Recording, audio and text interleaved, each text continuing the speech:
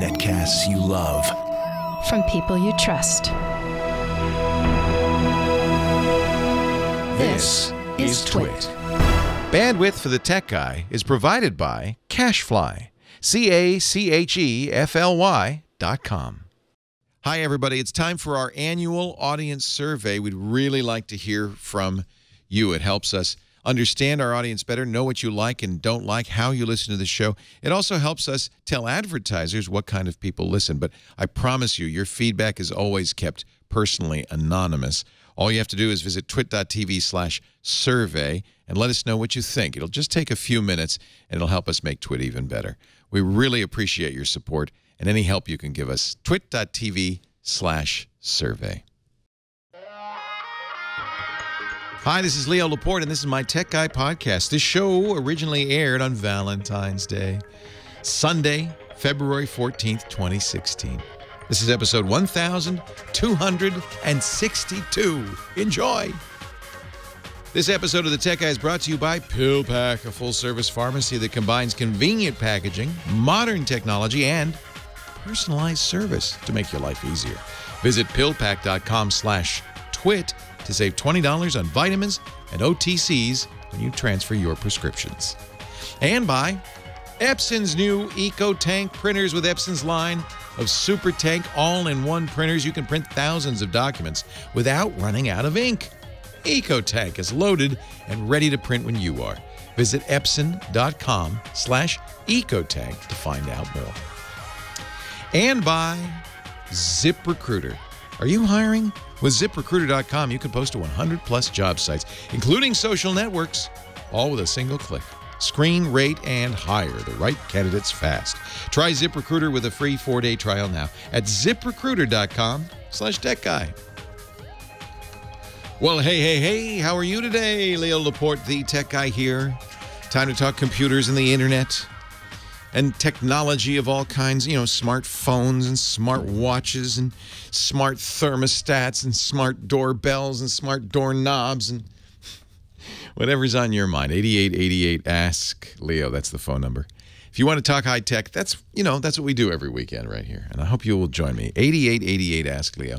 You don't have to call. You could just listen quietly in the corner. You could be the like the kids and who didn't want to sit in the front row.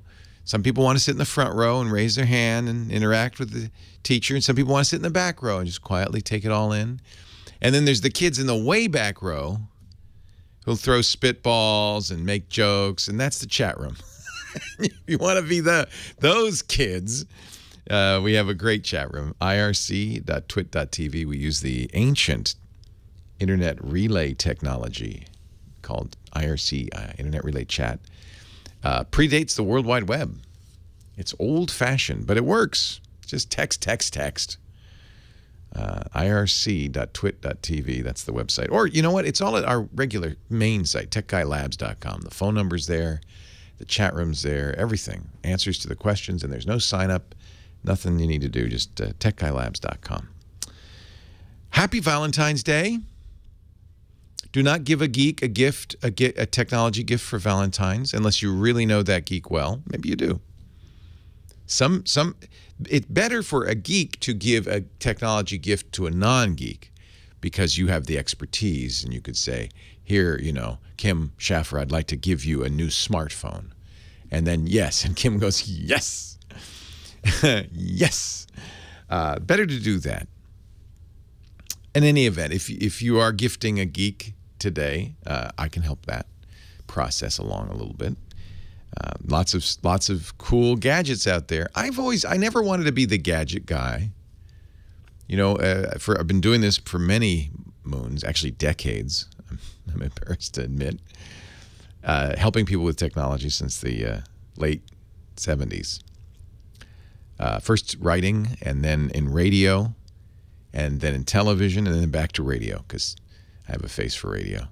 And uh, and and I started, of course, when you start in the 70s, it's computing. We didn't even have the internet till the 90, early 90s. Uh, answering questions on the radio. I remember kind of, you know, when we went from Windows 3.1 and and DOS 5. Oh, those were the days. And of course, we also had interrupt conflicts. Don't miss those. Uh, to telling people how they could get internet access, what the internet was, helping people get started in the internet. And I know that was good. Computers and the internet. But uh, around about uh, mid 2000s, maybe even a little earlier, it started to be a little bit about gadgets, smartphones. You know, the iPhone really broke that wide open in 2007. Uh, nine years ago, it's gonna like nine years ago. Wow. And it's become more and more about little uh, G-Jaws. But see, I still think of uh, a smartphone really as just a computer in your pocket. It's a very powerful computer, but it's pocketable. Pretty neat. Pretty amazing. And some gadgets are just shiny toys that are, you know, disposable and not great. And some gadgets are something that's going to be useful and it's going to change your world. The smartphone, I think, changed our world, didn't it? The uh, idea that you could carry something in your pocket that would always be connected to the global internet. Wow. That you could, a, a, a universal communicator that could let you talk to people anywhere in the world, even in a different language, it would translate for you. Wow.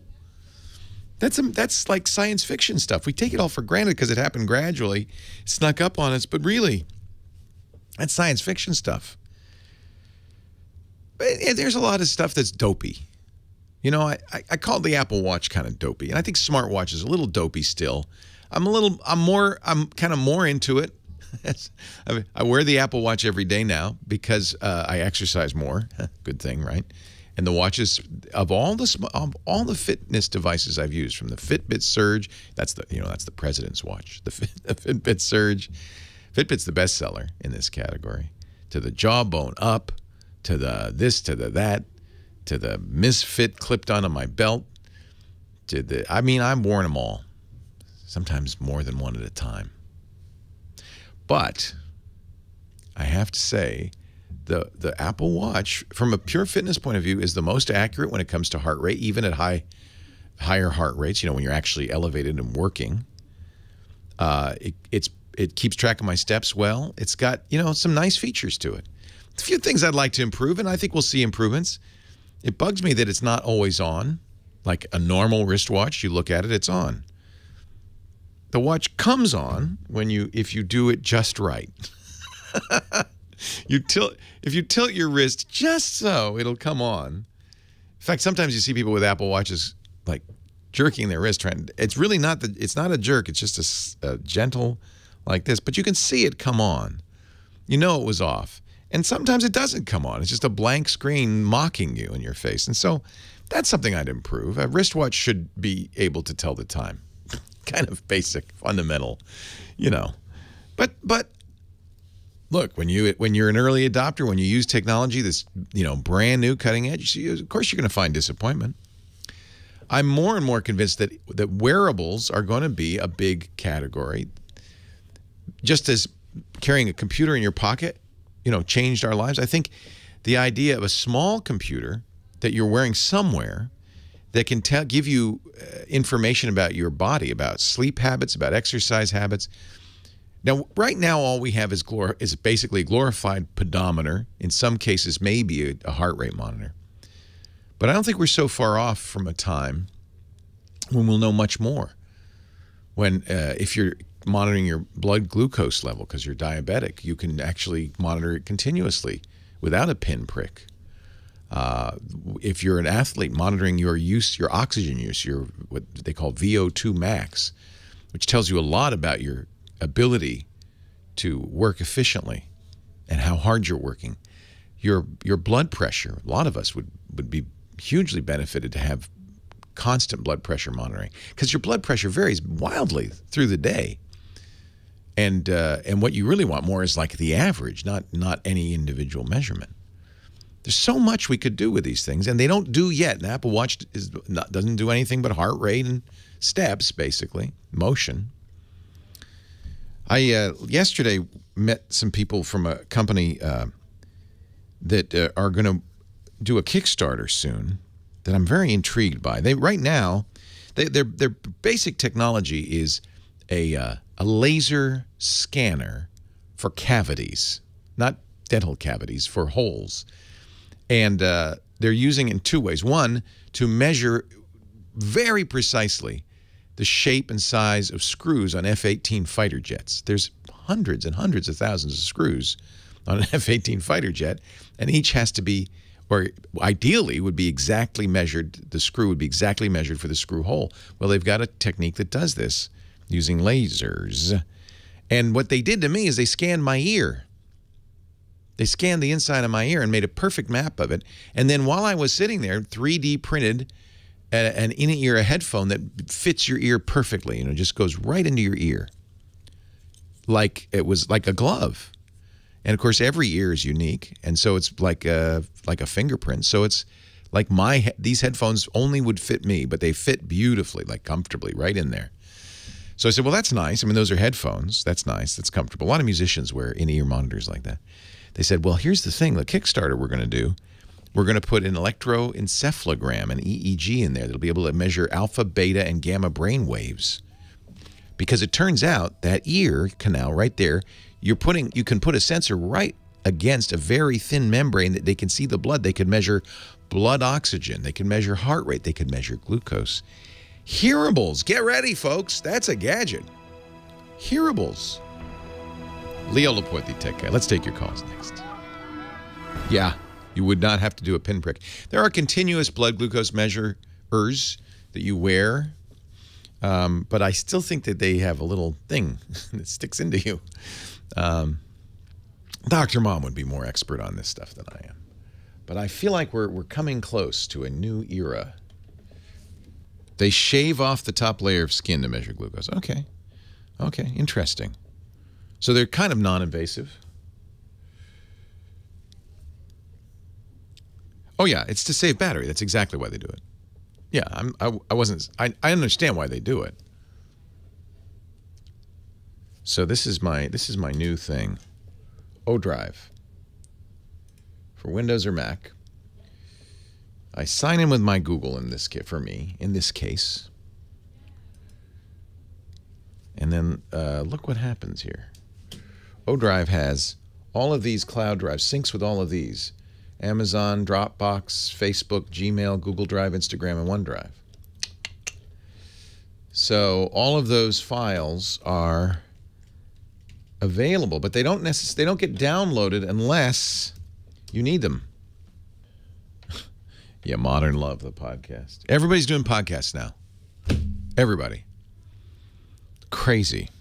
They discovered podcasts. Hmm. I don't understand. It is a podcast renaissance. It is. I was wrong. I was mocking it, but you know what? Something amazing is going on with these things. It's like everybody just discovered them. I know what happened. Podcasts were too hard for people to use until uh, smartphones had podcast apps. And now it's not a it's you don't have a you don't have to sync it to an iPod anymore. You just uh, subscribe in your podcast app or or the Twit app or whatever on your phone, and it's just there. So it's so easy, and that was always the key to podcasts was it was so difficult to, to for people to get it.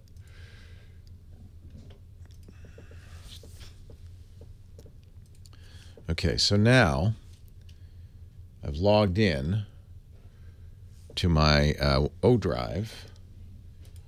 And what happens is I have now a folder on my hard drive that's the odrive folder. Now it's kind of a weird folder. Let me get rid of the installer.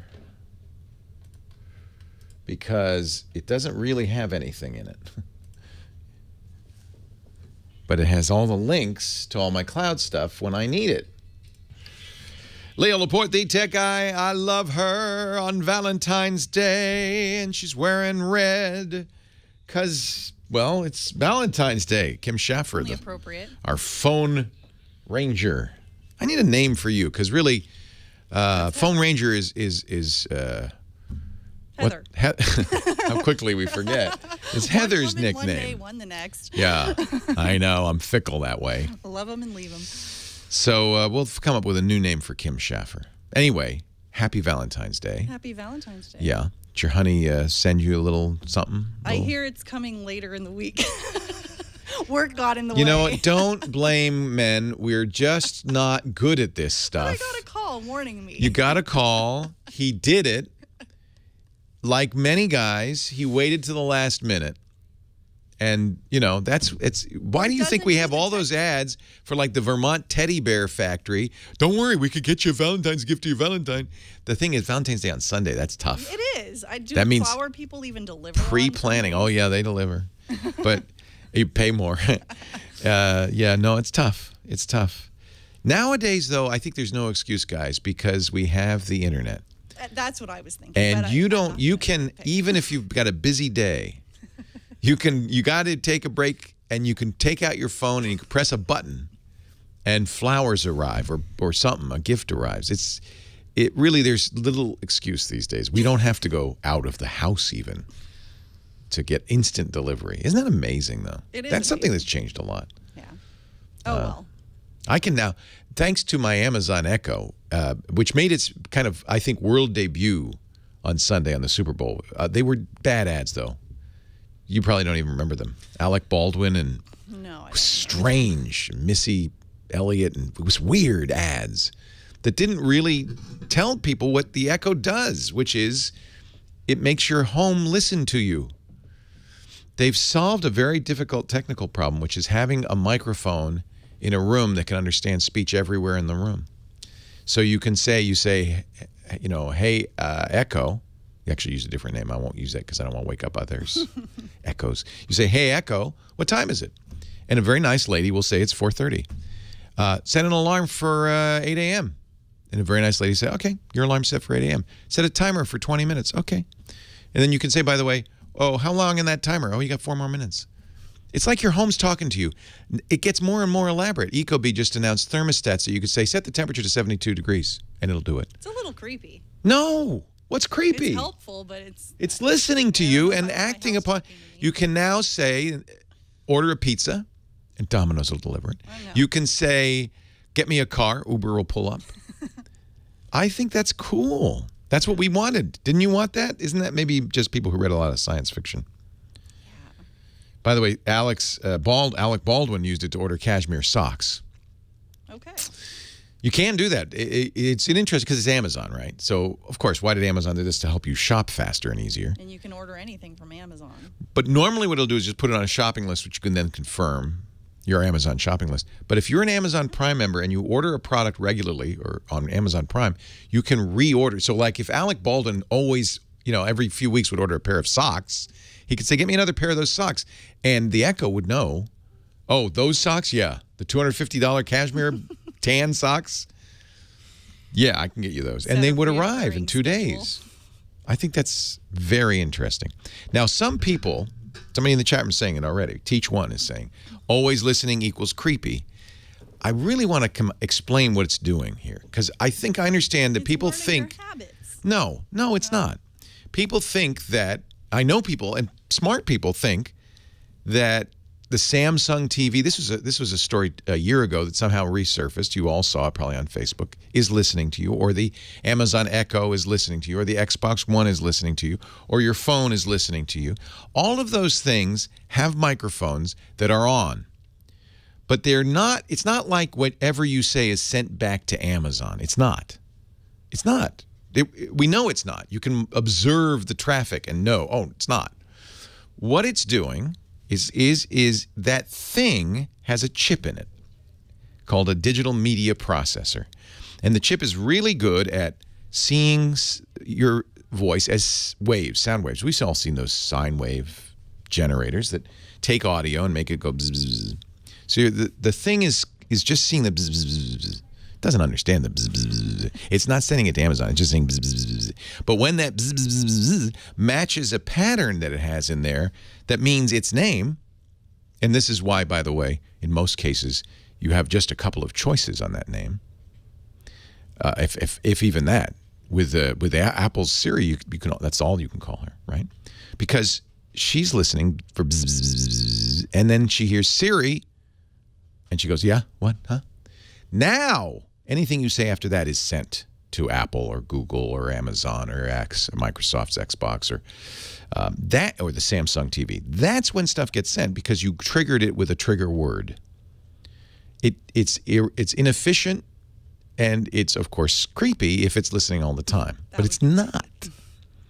It's listening in the sense that it's it's hearing bzz, bzz, bzz, looking for the right shape. It doesn't. It's not a thing, a human.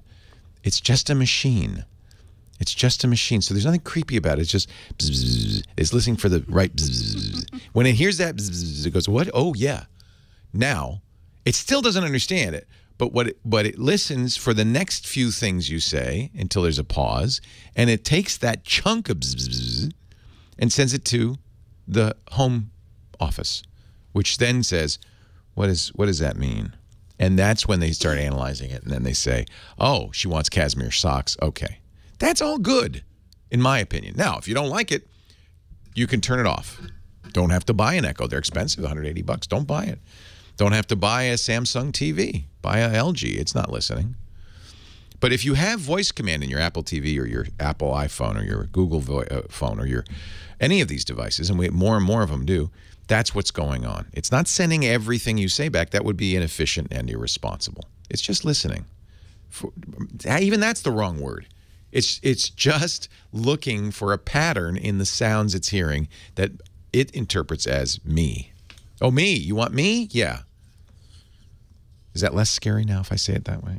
Sure. No, you still think it's creepy. Me.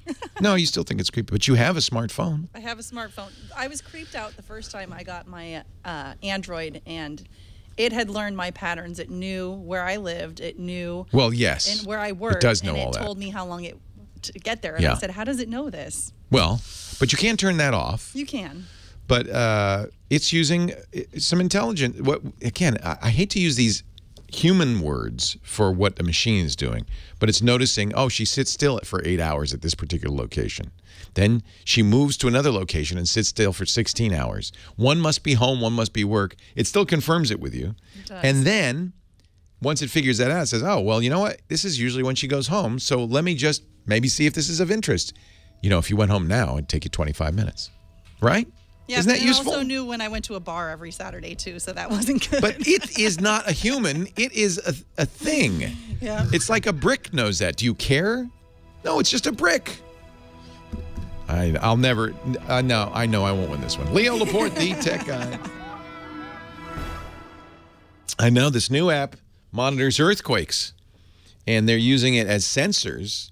They're using an array of sensors everywhere. It's called MyShake.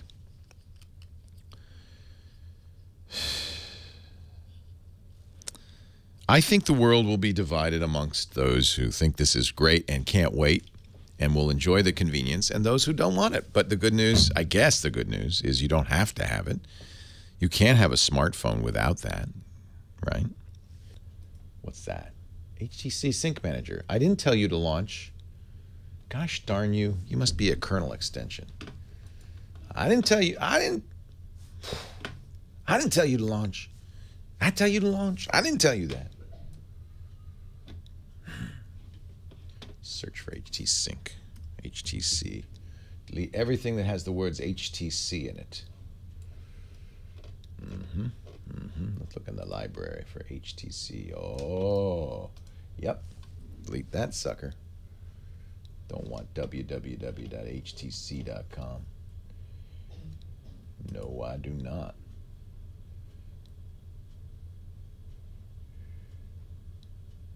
Oy. Look at all the look at all the little places this has wormed its way in. That bothers me more than Amazon listening to me. I'm ge- I'm gonna buy one for here. That's what I'm gonna do. You know what? I'm doing it right now. An Echo. Yeah, I think this is worth enough worth talking about. Uh, think uh, it's a good idea to have an Echo in a, a studio. I was going to say we're I'm all gonna going to be make its ordering name be Amazon. all the time. yeah, because Echo, Echo's a bad thing. You know how much trouble we've had with Echo. I know. Every time I say the word, Kim, Kimmy wouldn't even be here if it wasn't well, maybe I won't need her if I. Uh, so ship this to Twit. We're replacing you with a tube, a black tube with a speaker in it. I love these things. Maybe I'll get two of them. I think there should be one in the gym.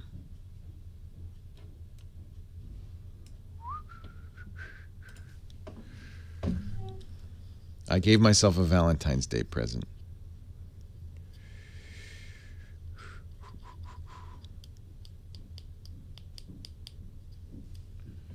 I got two echoes. One for here. Ooh, a protective case.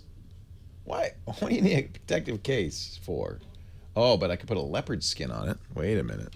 Now I'm intrigued.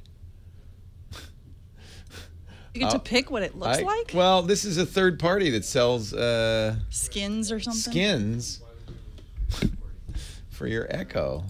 That is hysterical. I don't even know why one would want that. Oh, look at that. I want a leopard skin case. I'm all about the animal prints. Well, see, then you can make you don't you don't like a black tube. You feel that's see. I just hide the echo. All right, we should probably do answer some calls. Yeah, that might I'm be nice. So sorry. oh, is it going to be like that? Is it the whole show. the whole show? Uh, actually, I should talk about PillPack. I shouldn't. f- I shouldn't mess around. I should uh, give some credit to our fine advertisers. This is a PillPack. This is amazing. This is modern technology solving an age-old problem. The problem is, did I take my meds today? Did, I mean, it doesn't have to be meds. Did I take my vitamins this morning? Did I take my uh, antihistamine uh, for allergies this morning? Nobody remembers. And certainly as I get older, I find it harder and harder to remember. And with medication, it's kind of important that you take it. Well, PillPack is a pharmacy that does it the right way. It's a new modern kind of pharmacy. It's an internet-based pharmacy that just they've they've solved this whole problem. First of all, it's easy to transfer your prescriptions over. They uh, honor most insurance plans, including most forms of Medicare Part D. And of course, they will make sure that your insurance is compatible before they transfer your prescriptions over. In most cases, you just pay the copay.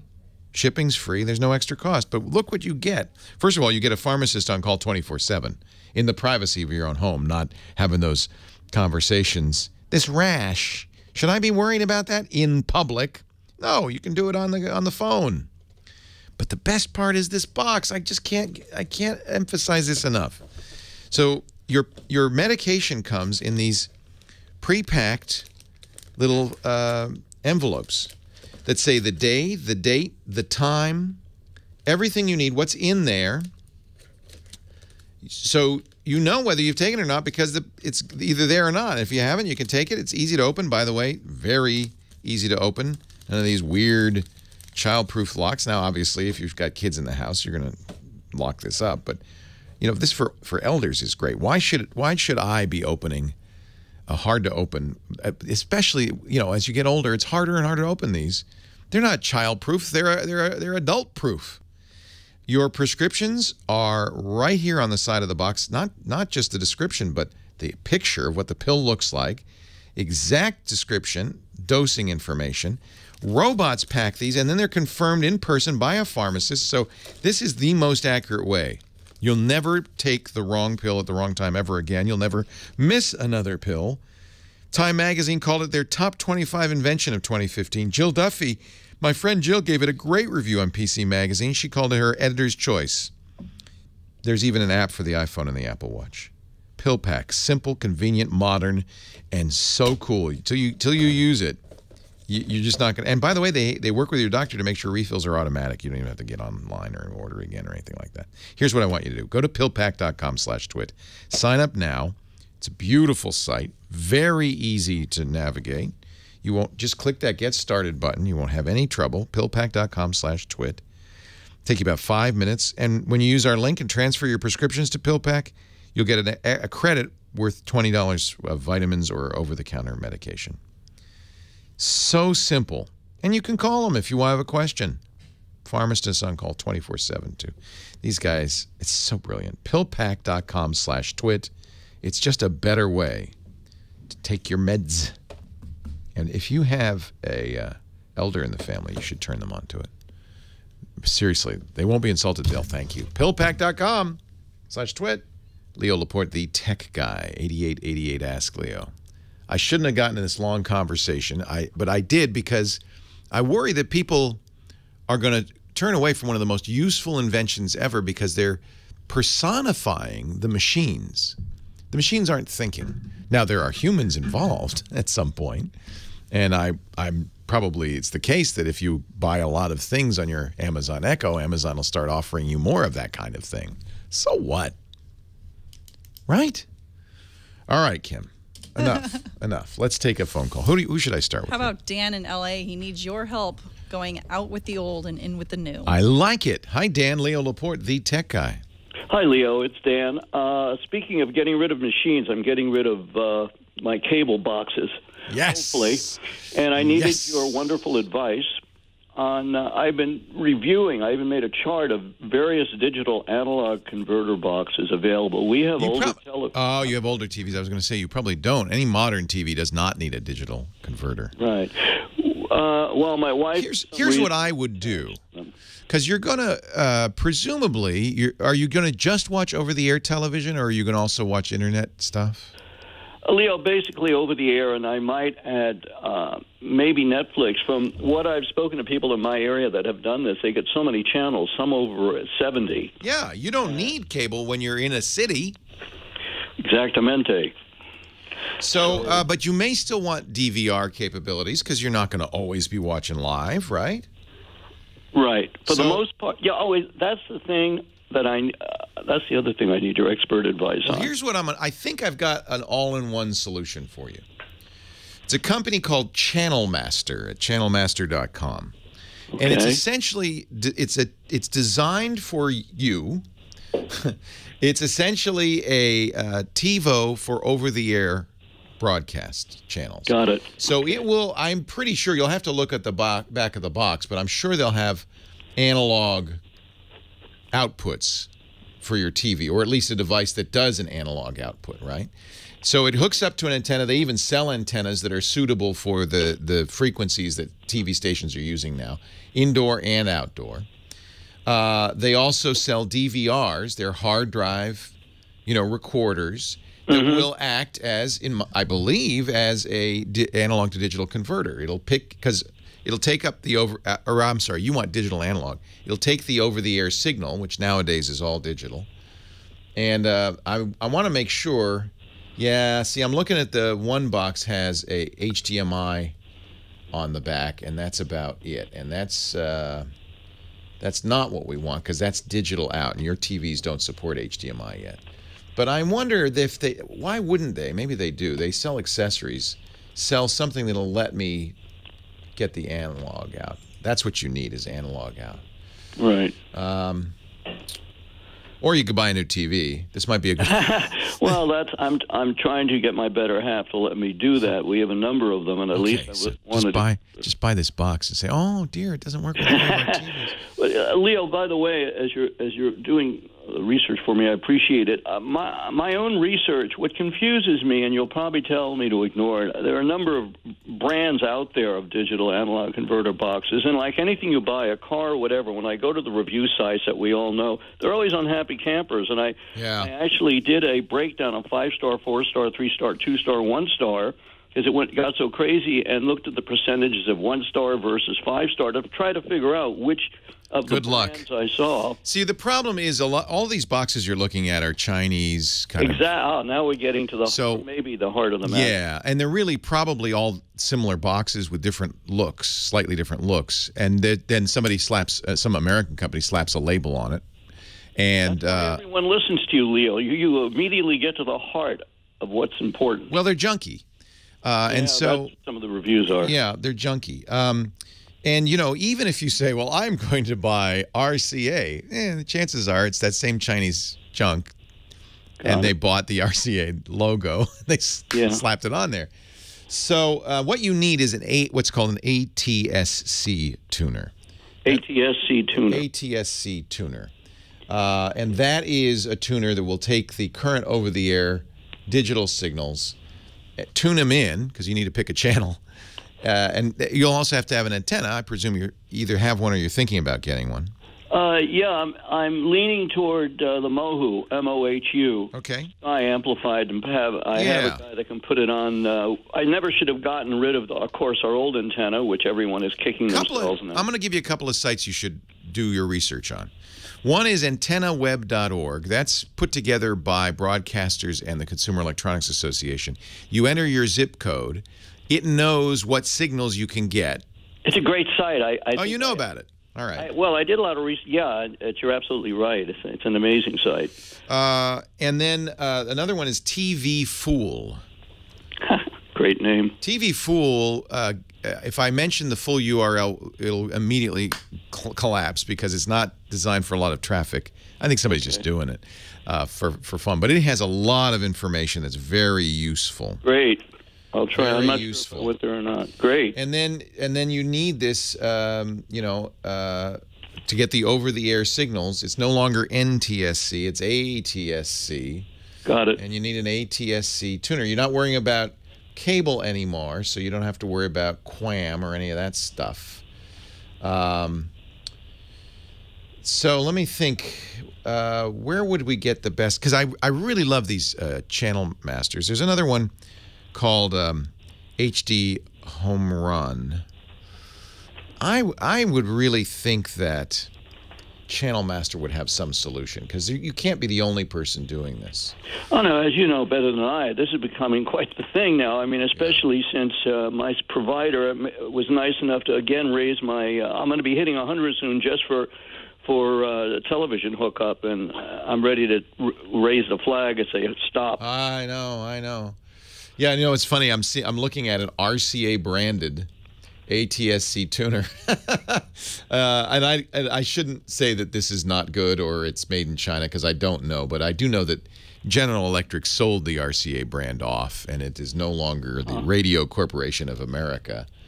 Um, it's called the Really Chinese uh, Association or something. I don't know what it stands for. But you hit it on the head, though, Leo. I spoke to an old time TV guy, and he mentioned a name that I, I don't have it on my laptop as I'm talking to you. And I, I looked at the reviews, and they, there was still people there, you know, saying it's a piece of that and whatever. Yeah. And people loved it, so it probably also was made in China.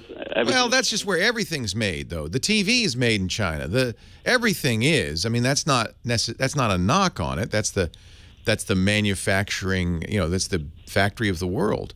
Um, the problem more is that these are such generic. This is a generic product, and you can see a brand on it, but that doesn't mean anything. It's the same few boxes, different. Well, go to brands. channelmaster like dot com, like you said. and I would check out what they've got. Now, of course, a lot of companies makes make things that are designed for use with computers, but I don't think you. It sounds like you don't want to do that.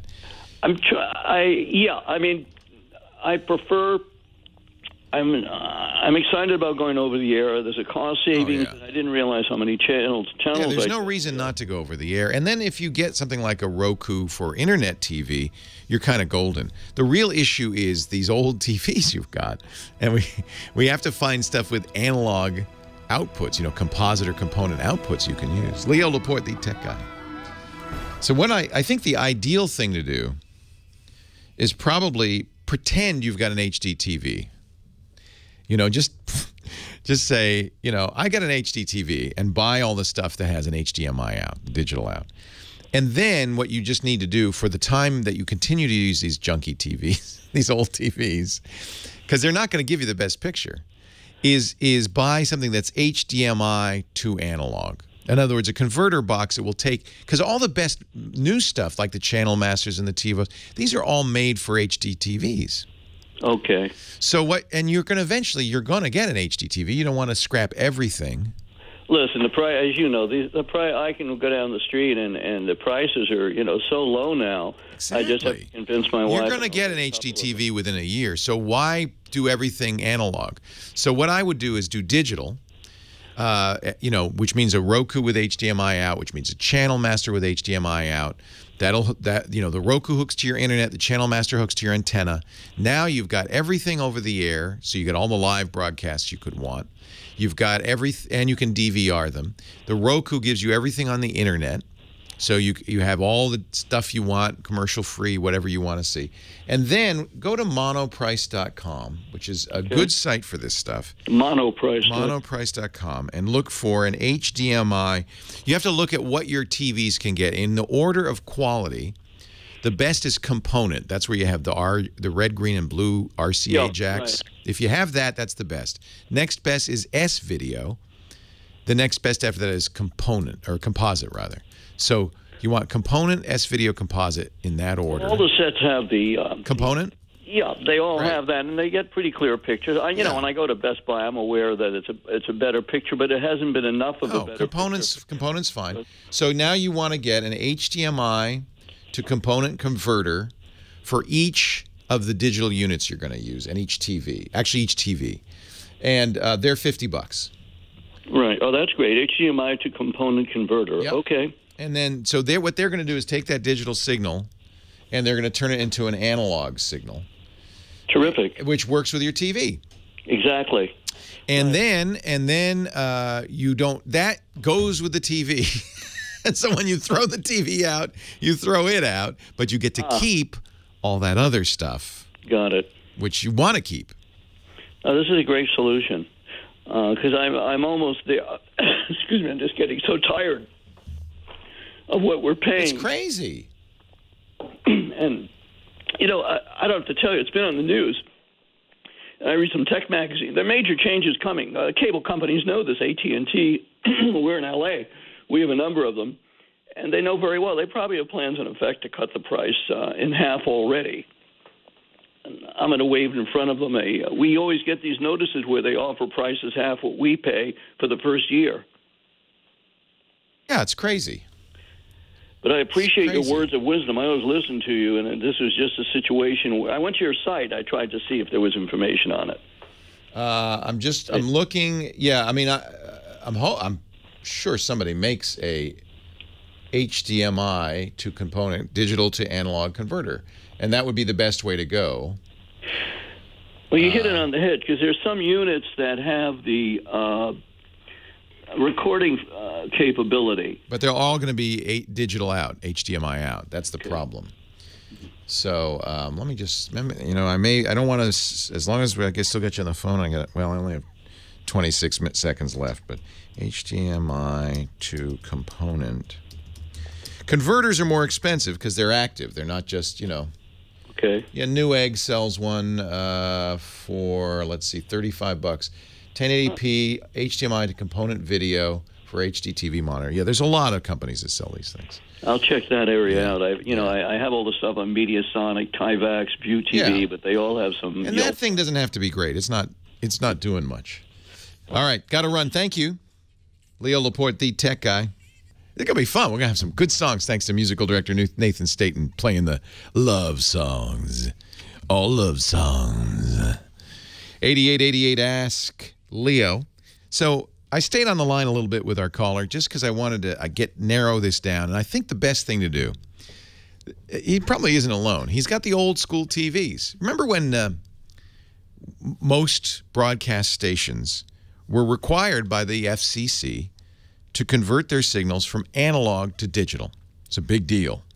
They called it the, you know, the the end of the world. Some people, and in fact, the U.S. government even offered subsidized converter boxes so you could continue to use your old analog TV with these new digital signals. And the reason the FCC did this is they wanted to reclaim those airwaves.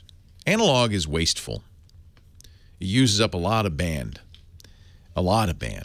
And so uh, the FCC said we got better uses for this uh, low frequency, relatively low frequency bandwidth spectrum, the 700 megahertz spectrum. So we're going to take you off of that, put you on a different spectrum, and ask you to be digital so it's more efficient. But it was a bit of an upheaval, less so now, but at the time, because people had older TVs and they had to get converter boxes to work with the new signals. By the way, there's a new auction coming up for the 600 megahertz band. These the phone companies are dying for these frequencies because it goes through walls, it goes long distances. The lower the frequency, the better it propagates. Higher frequencies up to the microwave. That's why you can have a microwave oven.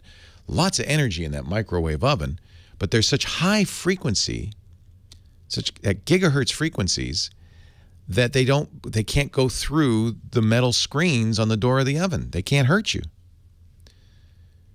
A low frequency can go right through that. Lower frequency. So these lower frequencies are at a premium for for cell phones and, and TV for anything that needs to go through walls.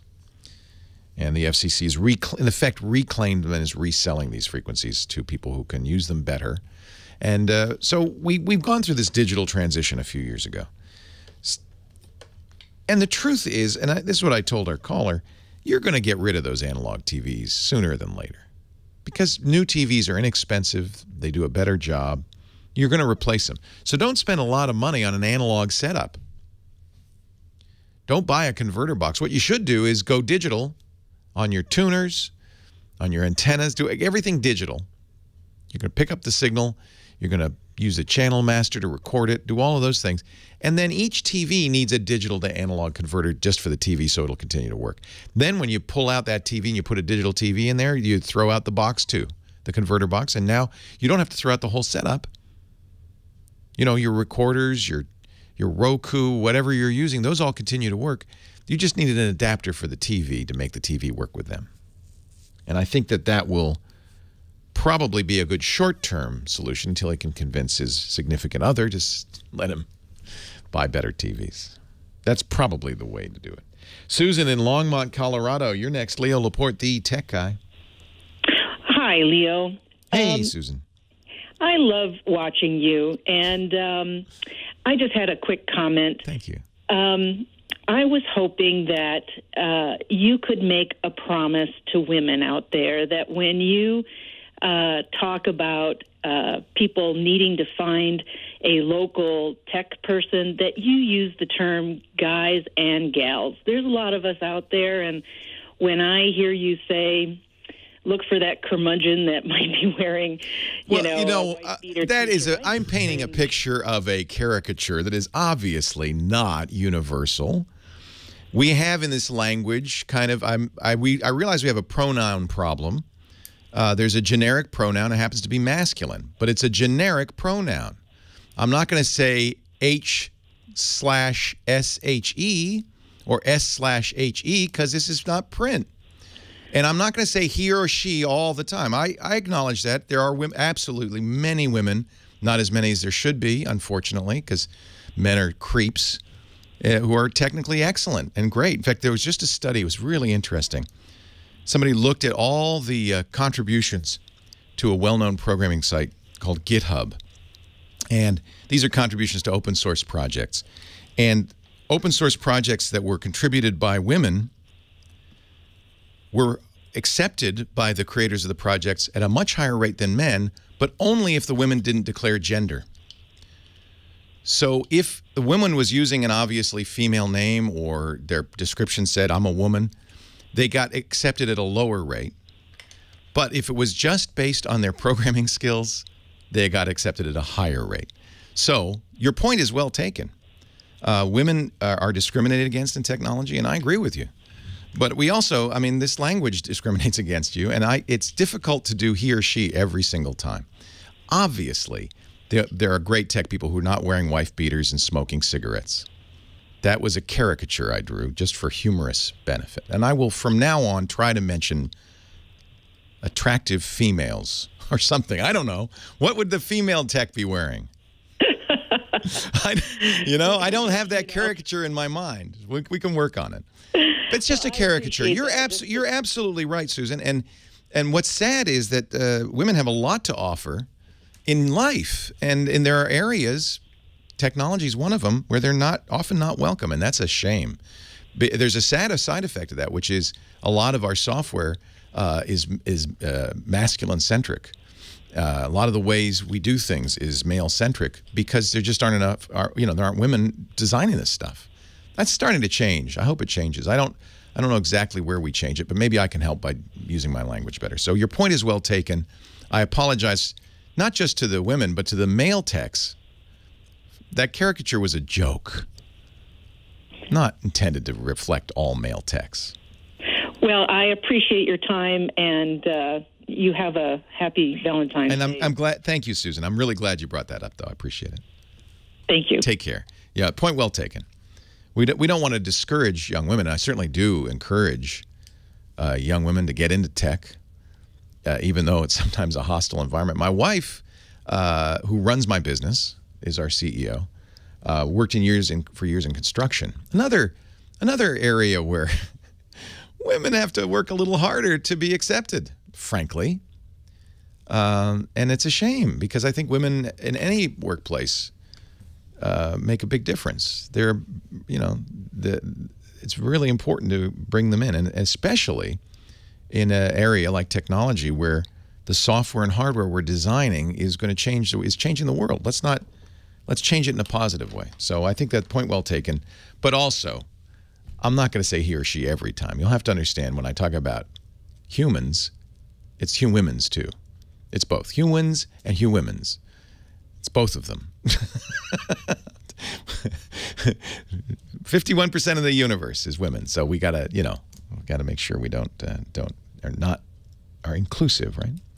Emily in our chat room, Emily the Strange in our chat room says she was literally the only girl in her computer science class in university. And we got to change that. That's just bad for everybody. That's not good. So I, I'm I am totally in agreement with you, Susan. I apologize if I gave the impression that this is in any respect a man's world. Uh, well, it is, but let's change that, shall we? 8888 Ask Leo. The website is techguylabs.com. And more of your calls are coming up in just a bit. Leo Laporte, the tech guy. I know, I can't wait.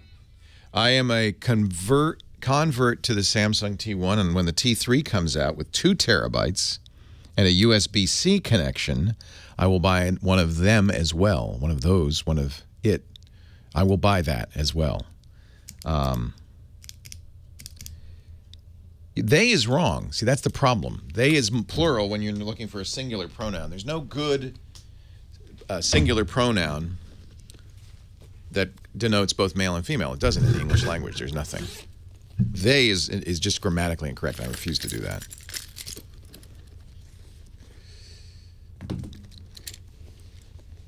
I mean, we got to You gotta. You gotta. We can't cure the language overnight. In, in writing, you could do S slash HE. I always think that was ugly. But I refuse to say, you know, they when it's a singular pronoun. That's crazy. That's crazy talk. And no one is more in favor of, uh, of women in technology than I am. My business is run by women. My wife is a woman. One would hope. My sister is a woman. My mother is a woman. Uh, I, am you know, and I know many. Uh, well, I wish I knew more, but I, you know, Colleen, our first engineer, was amazing. She was the best engineer I've ever worked with. She was mind-boggling. Uh, so I don't. I'm not. I, I. I totally acknowledge that they're great women in technology. We need more of them. But believe me, don't take it too personally when I say, you know, the guy with a cigarette and a white beater in the back of the car with his fly speck stuff. That's a, that's a caricature, a portrait of a person. Not all techs do that. If I were a male tech, I'd be offended by that too. So this is the uh, this is the T1. I really like this sucker. So what I've went back and forth on the encryption on it. So Samsung provides uh, encryption on it. And of course, if you're carrying around a terabyte of your personal data in something that you could so easily lose, probably a good idea to have strong encryption on it. And the Samsung encryption is fine, frankly. You do need a special driver for Macintosh, but that's, uh, frankly, Apple's fault for not uh, supporting third-party SSDs very well. So I can't really fault Samsung for that. And 360 is a lot, but you can get, of course, a smaller capacity. I think 360 for a terabyte is remarkable for an, a high-quality SSD.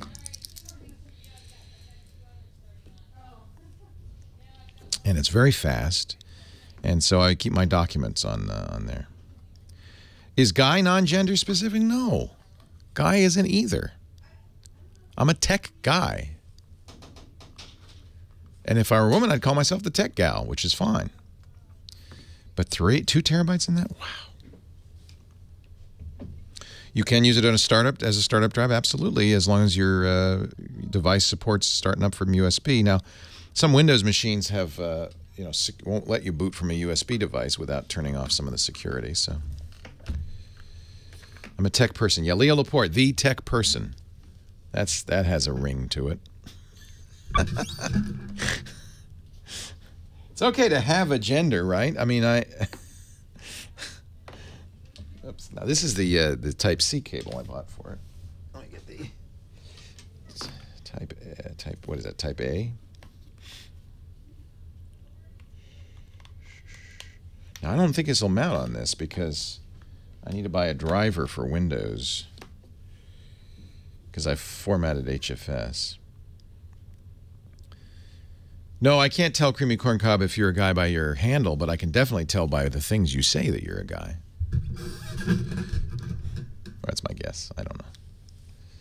I don't assume anybody's a guy or a gal in chat. I don't assume Emily's a gal or a guy or anything. They're just who they they're just them. They're a carbon-based life form. That's exactly right. Installing device. Please wait while setup installs necessary files. So even on uh, Windows, this Samsung installs uh, some software. I like that. I'm going to call myself the tech carbon-based life form. There are many genders. I think I don't. I don't have a. I'm not attached to uh, any particular. I'm gender fluid. Be what you want to be. Be who you. Be what you who you are. Yeah. See now, I don't see. I don't think the drive got mounted. Probably because it's HFS. So there are um, programs for Windows. Windows HFS Plus driver. Oh, Paragon, that's right. And isn't there an open source? What do you guys use for reading? Uh, yeah, these Samsungs, these are the EVO, uh, this is the EVO 850. This is like the best. Yeah, I, I, yeah. So this allow under Windows 8.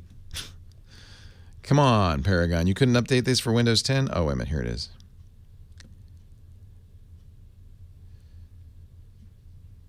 now fully compatible. I it's 20 bucks. I'm willing to pay 20 bucks for this.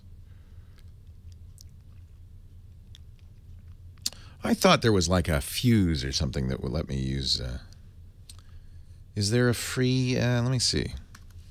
I don't want to be too cheap. Free HFS Plus for Windows.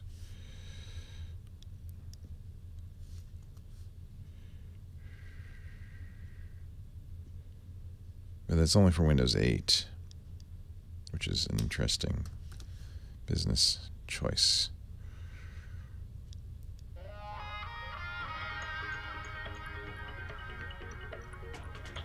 Ah, HFS Explorer. Uh, that's in Java. Ooh. There's a Paragon. Mac Drive, that's the other one. But boy, that's more expensive.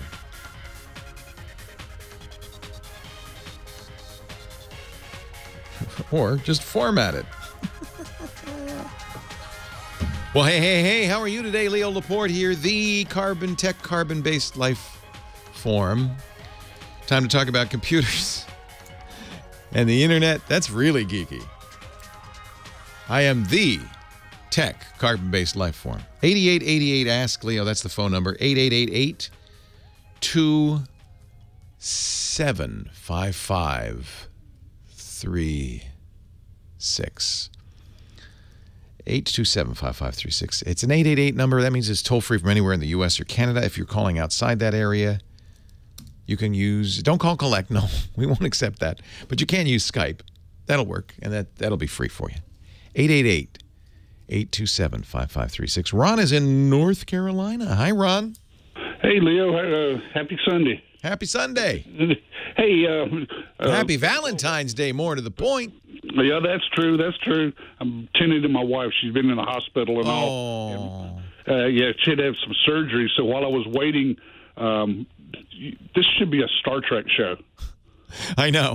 With, with everything you've said, you know, with the echo and, and the carbon based We live in an interesting time. But we, we we forget it sometimes because it, it crept up on us so gradual like. Star Wars has got nothing on us. I know. We even have we even have the holodeck coming from Microsoft. And uh, and in fact, when my wife was in having surgery, they used additional wireless enhanced sensors to monitor her blood flow and things like that. So that was Yeah. that was awesome. Yeah, even medtech, especially medtech, is get, is taking some very interesting turns. I think we're on the verge. I hope uh, of uh, uh, being able to find solutions genetically tailored to each and one of us, each and every one of us, particularly for cancer. This is a cancer isn't a single issue; it's a variety of things, and the only way to cure it is to have medicines that are tailored for your genes, but the best way anyway. And I think that we're getting there. And anyway, I don't, I don't mean to go down that rabbit hole, but I hope you take care of your wife on Oh, Valentine's oh, I, Day. she, she's she's on the mend. She's doing great. I've got her. I've got her plowing the back forty on Monday. Yeah, good. Well, I don't know about that. hey, the, the, re- the, the reason my call was uh, listening to you and Paul and Mary Jo um, this week, um, and the shock of Mary Jo possibly jumping ship. Our Windows Weekly show, uh, one of our hosts, who for years has used a Windows phone, because that's her beat, was actually trying an Android device. and and I am one. I am one of the one percent, and I've got a Nokia 920, and I was not wanting to go to the um, Apple route I don't unless. blame. Well, either way, I don't blame you for thinking about leaving uh, Android, um, leaving Windows Phone. And what I told Mary Jo is the best Microsoft apps for mobile aren't on Windows Phone; they're on iPhone and Android. Mm-hmm. Microsoft's doing all of its best work for iPhone. So I was just curious on the Android side, was, was is the Nexus the, the proper phone or? Yeah, I mean, this is uh, you know the nice thing about Android is you have a lot of choices. Uh, you know, obviously, an iPhone is only available from Apple, and even though there are other Windows phones, generally we're buying them from Microsoft now because they bought Nokia. Uh, it's not exactly the same environment. It's similar, though. I mean, Google makes the purest expression of an Android device.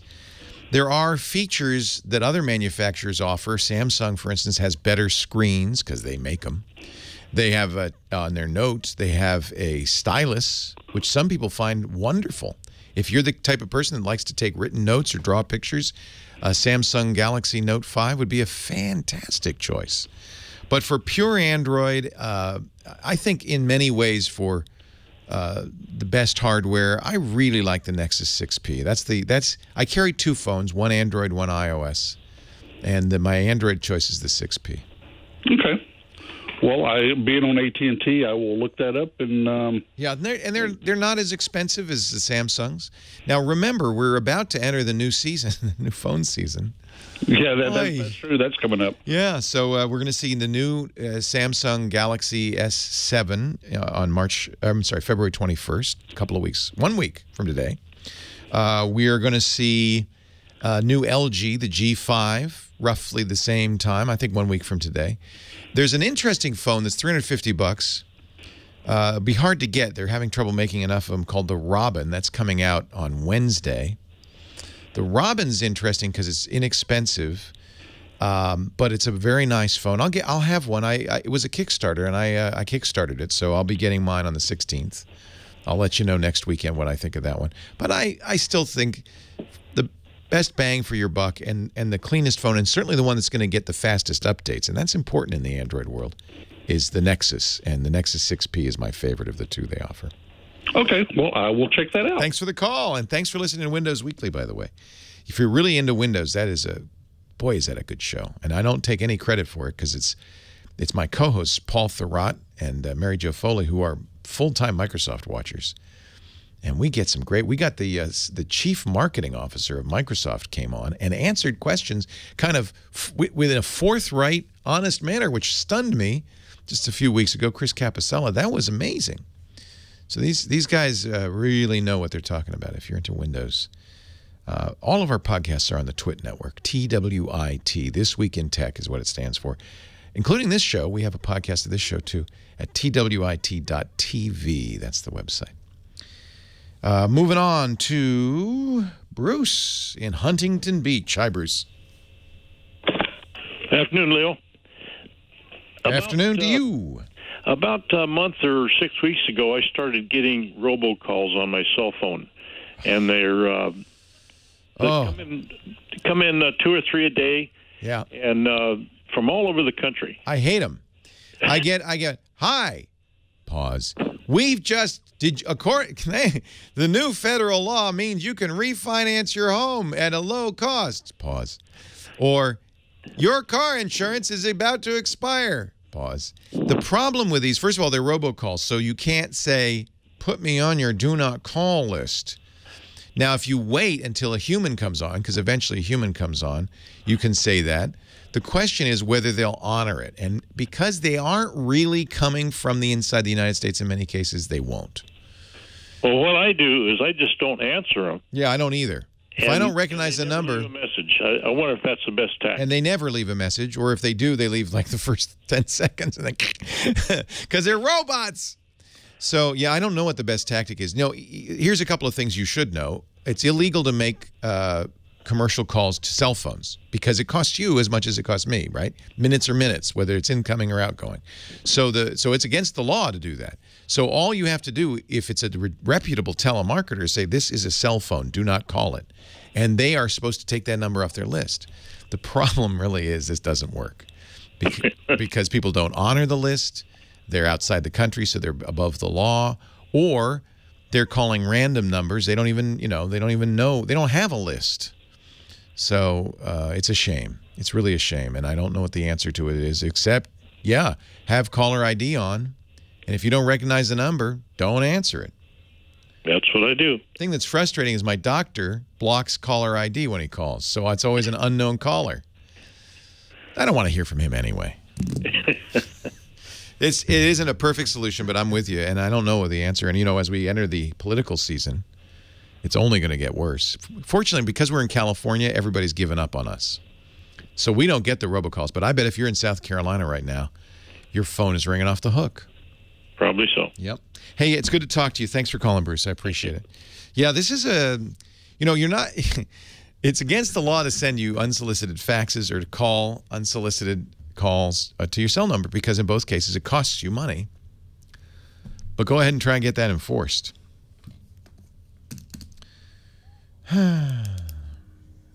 I don't I don't know what the answer is. I I really love the idea that uh, I can just look at the number and I just won't answer it unless I recognize it. And that's pretty much and my because my phone number is public, I even put it in the signature to my email so everybody has it. So I probably more than anybody get calls all the time. Leo Laporte, the tech guy, ain't gonna answer it. Mm-mm-mm. Yeah, that was a great story. The robot telemarketer who said, "No, I'm not a robot." Well, if you're not a robot, tell me you're not a robot. I'm not a robot. Is the recording on there, Jerry? Because that was a great, that was a fun one. Hey, our show today brought to you by my printers. I talk a lot about the Epsons, I know. This is the actual advertising portion of the of the show. The Epson EcoTank printer. Uh, we got one for um, Lisa Uh, because I have I've always had the Precision Core printers in my office at home. And Lisa said, "I need my I need an EcoTank." So we got the ET 4550. Nice. It was fun. It was very easy to set up. And it comes, you know, it's a it's a it's a regular precision core, you know, regular. These are the state of the art printers, 40 million drops per second. Beautiful, crisp black and white text, vivid colors, two-sided printing automatically if you want. I do I use that to save paper. 30-page auto document feeder that actually works. You can print from your laptop, but you can also print, you know, over Wi-Fi, from your tablet, from your phone. It supports all the protocols like Apple's AirPrint, Google Cloud Print. Just love it. But here's the fun thing. See that tank on the side there? That's an ink tank. So when we opened the box, it's got it's got four bottles of ink in there, and I was easy. I just loaded up the tank, and boom, that's that's now 8,500 color pages, 11,000 black and white pages, uh, the equivalent of 50 ink cartridges. 50. That's about two years of printing in the box. And when you run out of ink, eventually, you just go out and buy more bottles at a very low cost. It's low cost. It's efficient. They have ink packs for the big printers because they also do office, you know, and work group printers. Epson, Such great printers. And now they've given you, and they, by the way, they still make my my Precision Core Workforce with the ink cartridges. So for low, light duty, still a good choice. Still a good choice. But if you don't like being interrupted in the middle of a print job, if you don't want to go get cartridges, if you want to save money on ink, you got to check it out. Epson.com slash ecotank. E P S O N dot com slash ecotank. An unbeatable combination of convenience and value.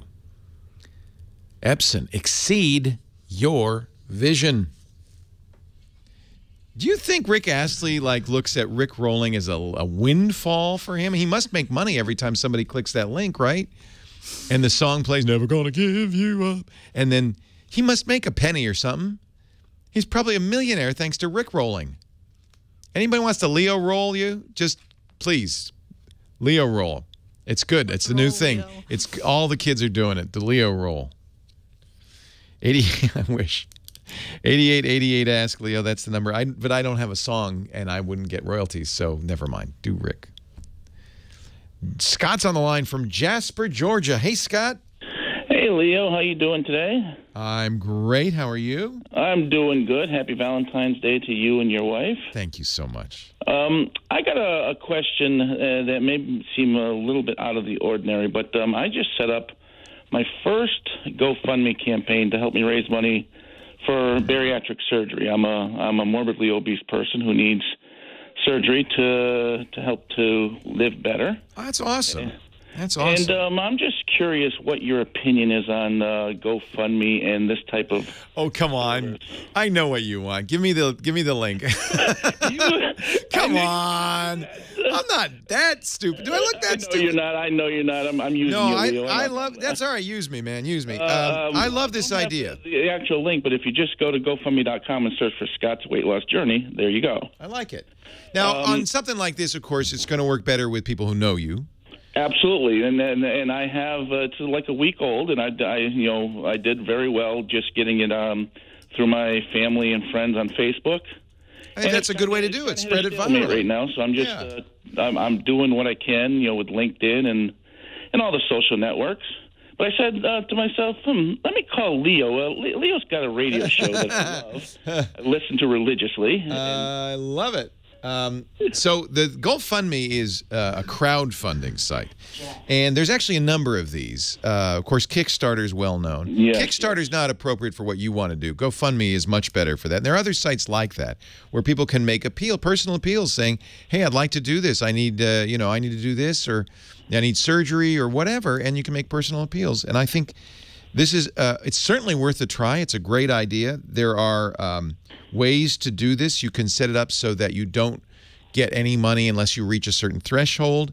Go. That's how Kickstarter generally works. GoFundMe has an option to say, "Hey, whatever I get, I'm gonna I'm gonna get. You're gonna be actually." Uh, Yeah, the only thing I worry about with this type of thing, Leo, is, is scammers out there that that um, uh, will be, I guess the term would be digital panhandlers, and I worry that it's going to get a bad reputation. Well, there will be some of that. Uh, there will be some of that, and um, I, I, you know, people often ask me to retweet these kinds of things, Right. and I don't for that reason because I don't have the time to vet these proposals and to say, oh, is it real or not, or is it just somebody looking for a handout? I obviously you're not, and I trust you, but it's just it's impossible when people tweet me and say, could you retweet? And they often have you know great stories. Yeah, yeah. Uh, My, the way that I'm trying to handle this is being as forthright as I can, as honest I can as I great. can, and uh, just you know, giving uh, consistent updates uh, throughout the process. Yeah. This was a tough decision for me to make to actually have this surgery, but as uh, someone who's uh, How much does it cost? oh, good lord, it's about uh, uh, I've been told about twenty thousand dollars. And insurance does not cover it? Uh, it will. I'm I'm uh, I'm blind. I'm on Medicare, so it covers eighty percent, and I'm just looking to. Uh, you don't need that much then because you, you No, only no, need the no, 20%. why I, set, I set the goal at four thousand dollars, and we're just a little over twenty five hundred. Good. And uh, I just want to be able to handle the out of pocket costs that are going to come up because of, uh, because of it. And uh, but I'm really excited about it because the the possibilities for someone uh, like myself, and I, I want to be a motivation for others. Good. Yeah, make do that's I think one piece of advice I'd have for anybody who wants to do this. Make it more than just uh, asking for a handout. Uh, have a plan around it. Say I want to write a book or I'm going to I'm to do public speaking. This is, you know, if, if my life will change. I think that's great. Uh, so Scott's weight loss journey on GoFundMe.com. There's another uh, crowdsourcing site that I love. Friend of mine actually started it called Patreon. Uh, you know, this all kind of is like patronage, isn't it? Remember the the days of the Medici emperors, the popes, where they, you know, Michelangelo painted us the Sistine ceiling because some rich guy was it who was it Leonardo de Medici? I can't remember who it was, but anyway, Lorenzo de Medici gave him money and said, "Paint that ceiling." The Pope, paint that ceiling, and uh, and so he did, and we have a great work of art because of the patronage of a wealthy man or woman. Uh, well, this kind of the modern age. Patreon does the same thing, but instead of a Sistine ceiling, it could be a painting, a book, any creative act. In a lot, in a lot of cases, it's a podcast. Somebody wants to make a podcast. A number of my friends uh, are using this as a way to fund their uh, their programming, their podcasts. And if you enjoy the show, you say, "I'm going to give a buck for every time I hear the show or listen to the show or whatever that is." And uh, I love this idea, going directly to your uh, audience, to your supporters. More and more artists, uh, like musicians and photographers, are doing this too. I think it's a it's a really interesting uh, way. It's not the only way, obviously, uh, but it's a it's nice to have some alternatives, and I support it. Now, I support a lot of things on Kickstarter I probably shouldn't support. And I, I also want to point that out that, that, that uh, Kickstarter is very clear about this. We are not a store. I think people sometimes go to Kickstarter and say, that's cool. For instance, I just put down a significant amount of money. I think it was like a hundred bucks on a floating bonsai tree. Now that was dumb of me, and I of course regret it.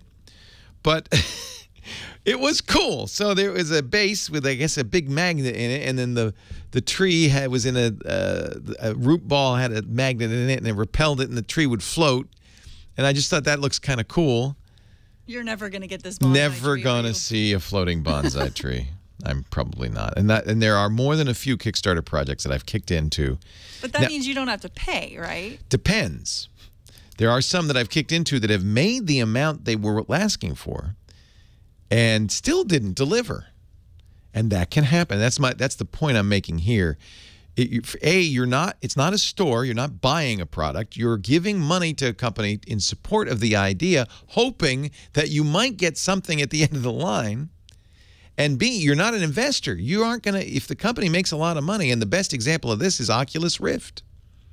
The VR headset, I kicked in a couple hundred bucks, I think, for an Oculus Rift. I got the Oculus Rift. They said it's going to just be a development kit. It's very early. I know, but I think virtual reality is interesting. A couple of years later, after we all kicked in money to Oculus, they sold out to Facebook for billions of dollars. Do I see any of that? No, because I'm not investing in them. I gave them money, and I happened to get a a, a, a, a visor, but I might not have. That's there's no guarantee. So that's just something to be aware of. You're you're neither investing nor buying. You're you're donating on these sites. It's a donation with no guarantees. If you like the idea and you feel like, hey, this really needs to be supported, and I, you know, I've talked to the folks at NASA. I said you should do some of the some crowdfunding for some NASA projects because a lot of us support space exploration better than Congress. Leo Laporte, the tech guy. It's no more than a, of a racket than the lottery. And the likelihood of a payout is higher than the lottery. but I don't buy lottery tickets, but I do spend money on Kickstarter. I always like to check in on Kickstarter and see how my projects are going. Let's just see my backed projects on Kickstarter. Then we're going to get Chris Marquardt. Whoops. Verify my password. Well, if you insist. Okay.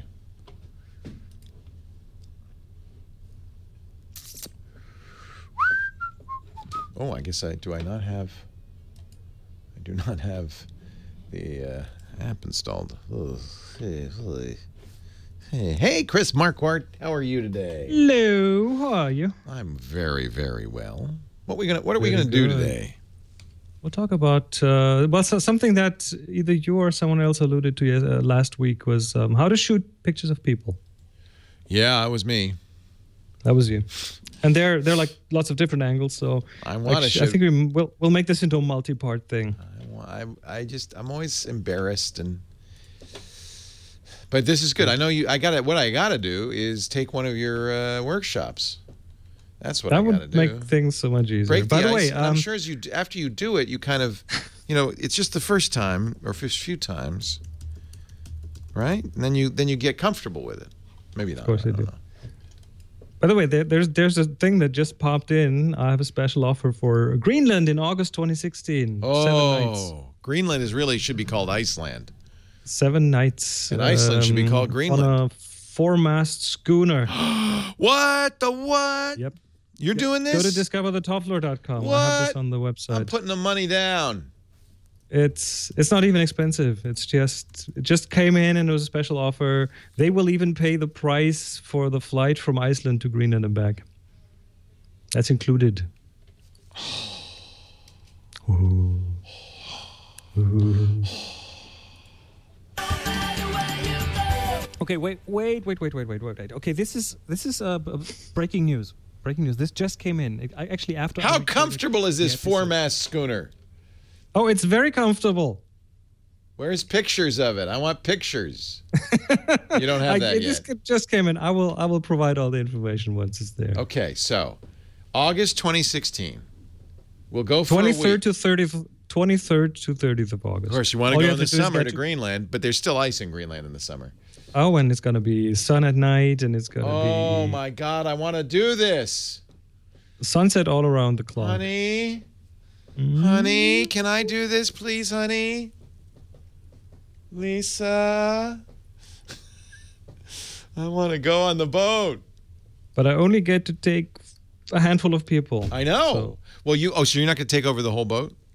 No, no, no, no, no. It's it's good. It's a maximum of five or six Oh, is what I'm what I'm gonna take. So oh. yeah. I want to do this, honey. No, I, I doubt I doubt I would be able to fill this entire boat. We're going. Not uh, important Of course for you that. could. I could. no, I'm not important. I enough for that. could. You could easily. You could. eas- Um, the problem is we're going on a cruise the next month Ah, to the okay. Baltic, so it's gonna. It says only if she can go. Well, of course she can go. I want her to go. I'm not going alone. You want to go? Here, it's on uh, discoverthetopfloor.com. There's not much. It's kind of scant information. She didn't really enjoy. Norway all that much. Oh, really? Did the boat rock? Well- Will the boat rock? It's Here we go. uh, Eh, not that much. I mean, no, it's very we're right there. We're in Greenland. Oh, how much could it rock? That Kodachrome song can mean but one thing.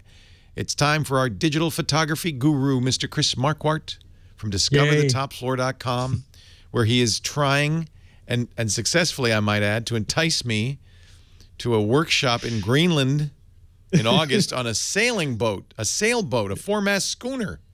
Yeah, it it did work with a with a Rolleiflex. So was, you are the devil. Uh-huh. Can I bring the Rolleiflex and the Leica M3, the film cameras? I would I would insist on that. I would actually bring film for you. You know, after shooting a, a little bit of film with those cameras, as much as I love those cameras, and then I went back to what I consider the best camera ever, which is my Sony A7R II, Yep. 42 megapixel. Does does the convenience win? Yeah. the images win. The quality of the image is so mm. much better. It's like a, a medium format camera. It's amazing. Um, I would anyway. I would up up in Greenland. I would show you how to shoot with a large format camera, and then you'll be hooked. Oh man. See, this is gonna be an expensive trip, even if it's not.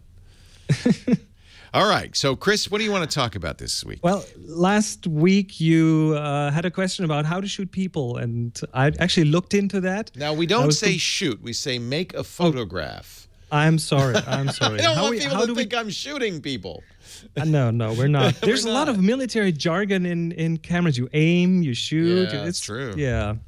No, of course. How to take pictures of people, and I, I thought about this, and I thought this would be kind of an an easy thing to answer in like 10 minutes here. Yeah. But then I was like, okay, wait a minute. Let's a bit more specific. I mean, you could ask questions like how to make people look good in pictures.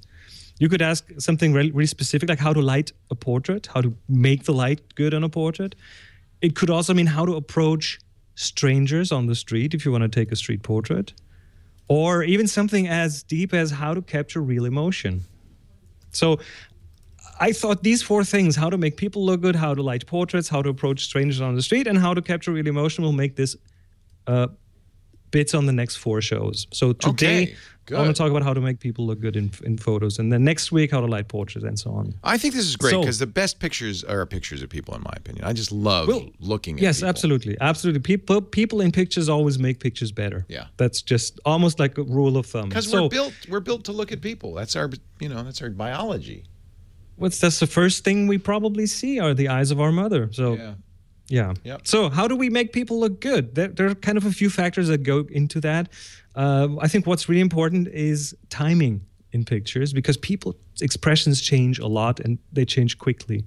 So with and when you see photographers nowadays take pictures with a modern camera of people, they usually shoot a little burst. They shoot like three or four pictures, and then they have more choice in did that person close their eyes or did they have a weird angle on their mouth or something. So you can do this even with your smartphone. If you shoot with an iPhone, and I think Androids probably do the same thing, you just hold down the button on the camera for a bit longer than usual, and it'll do a little burst for you. So it takes Oh.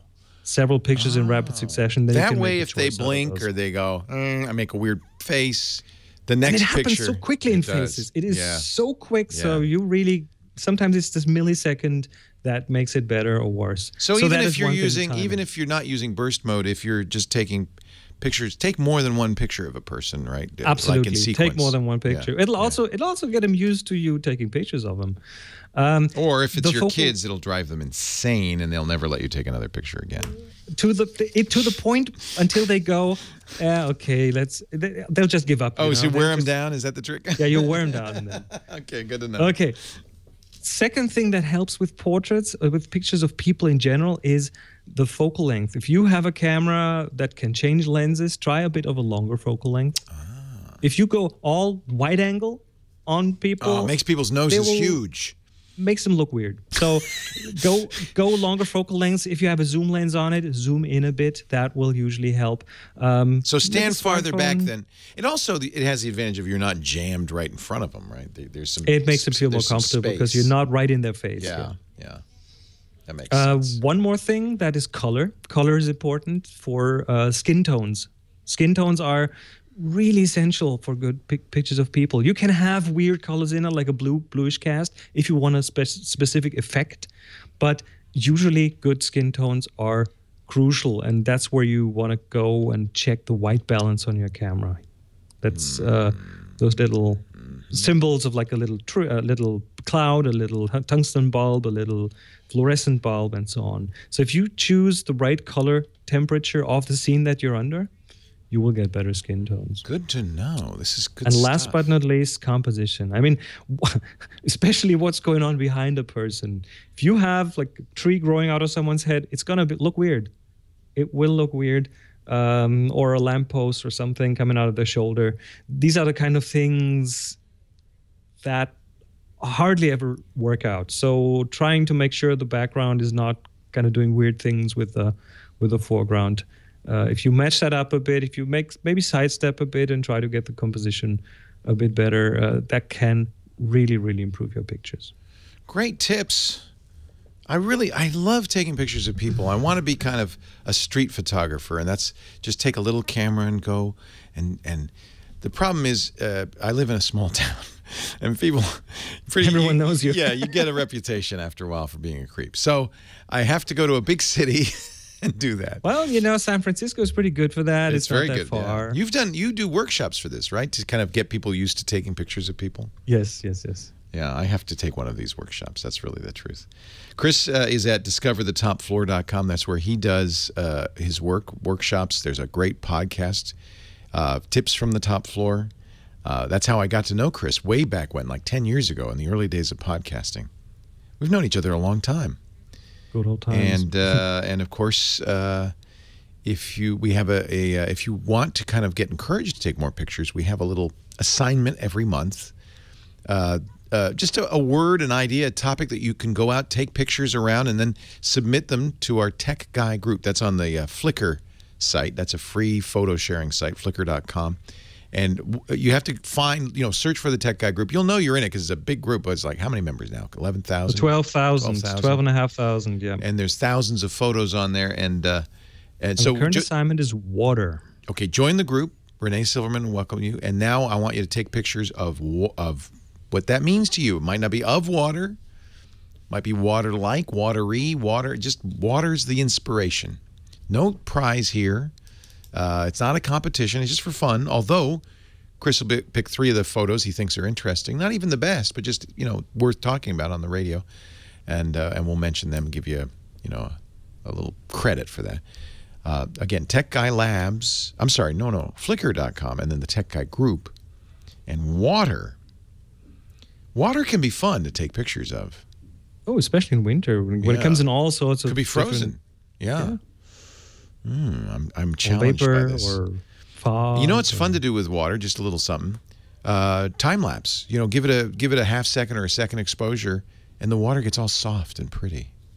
Yeah. You need a tripod or yeah, that's an example. Not something you should do, just as an example. I haven't done my picture. I haven't, in fact. I'm so bad. I haven't done a picture in a long time. I will this time. By the way, it can be with your smartphone. It doesn't. In fact, often we pick uh, pictures people took with their uh, smartphone because it's the camera you have that really counts. DiscoverTheTopFloor.com. Chris Marquardt, thank you. We'll talk again next week with mo- uh, well, part two of our How to Take Pictures of People. Part of how to light portraits, how to make the light good in portraits. Oh, I got something to show you next week. All right. That I got just for that. 8888 Ask Leo. The website is techguylabs.com, and more of your calls still to come. Another whole hour and uh, 15 minutes of the show left. 888 827 5536. I am Leo Laporte, the carbon based tech form. Or something. Thanks, Chris. Absolutely. A, See you again next week. have a great day, and we'll see you. A great week, and we'll see you next right. week. Take care. Bye. I am a carbon based life form. Leo Laporte. Or, or an ape man. It's all, you know. Or Leo Laporte, the tech guy, 8888. Ask Leo. That's the number to call. Musical director Nathan uh, Staten, drifting slightly from the Valentine's love song, but that's okay. That's okay. That's a great. I haven't heard that song in so long. That's a great one. Uh, Steve's on the line from Yucaipa, California. Hi, Steve. Leo Laporte, the tech guy. Hey, Leo, how are you doing today? I am wonderful. How are you? Very well, sir. Very well, sir.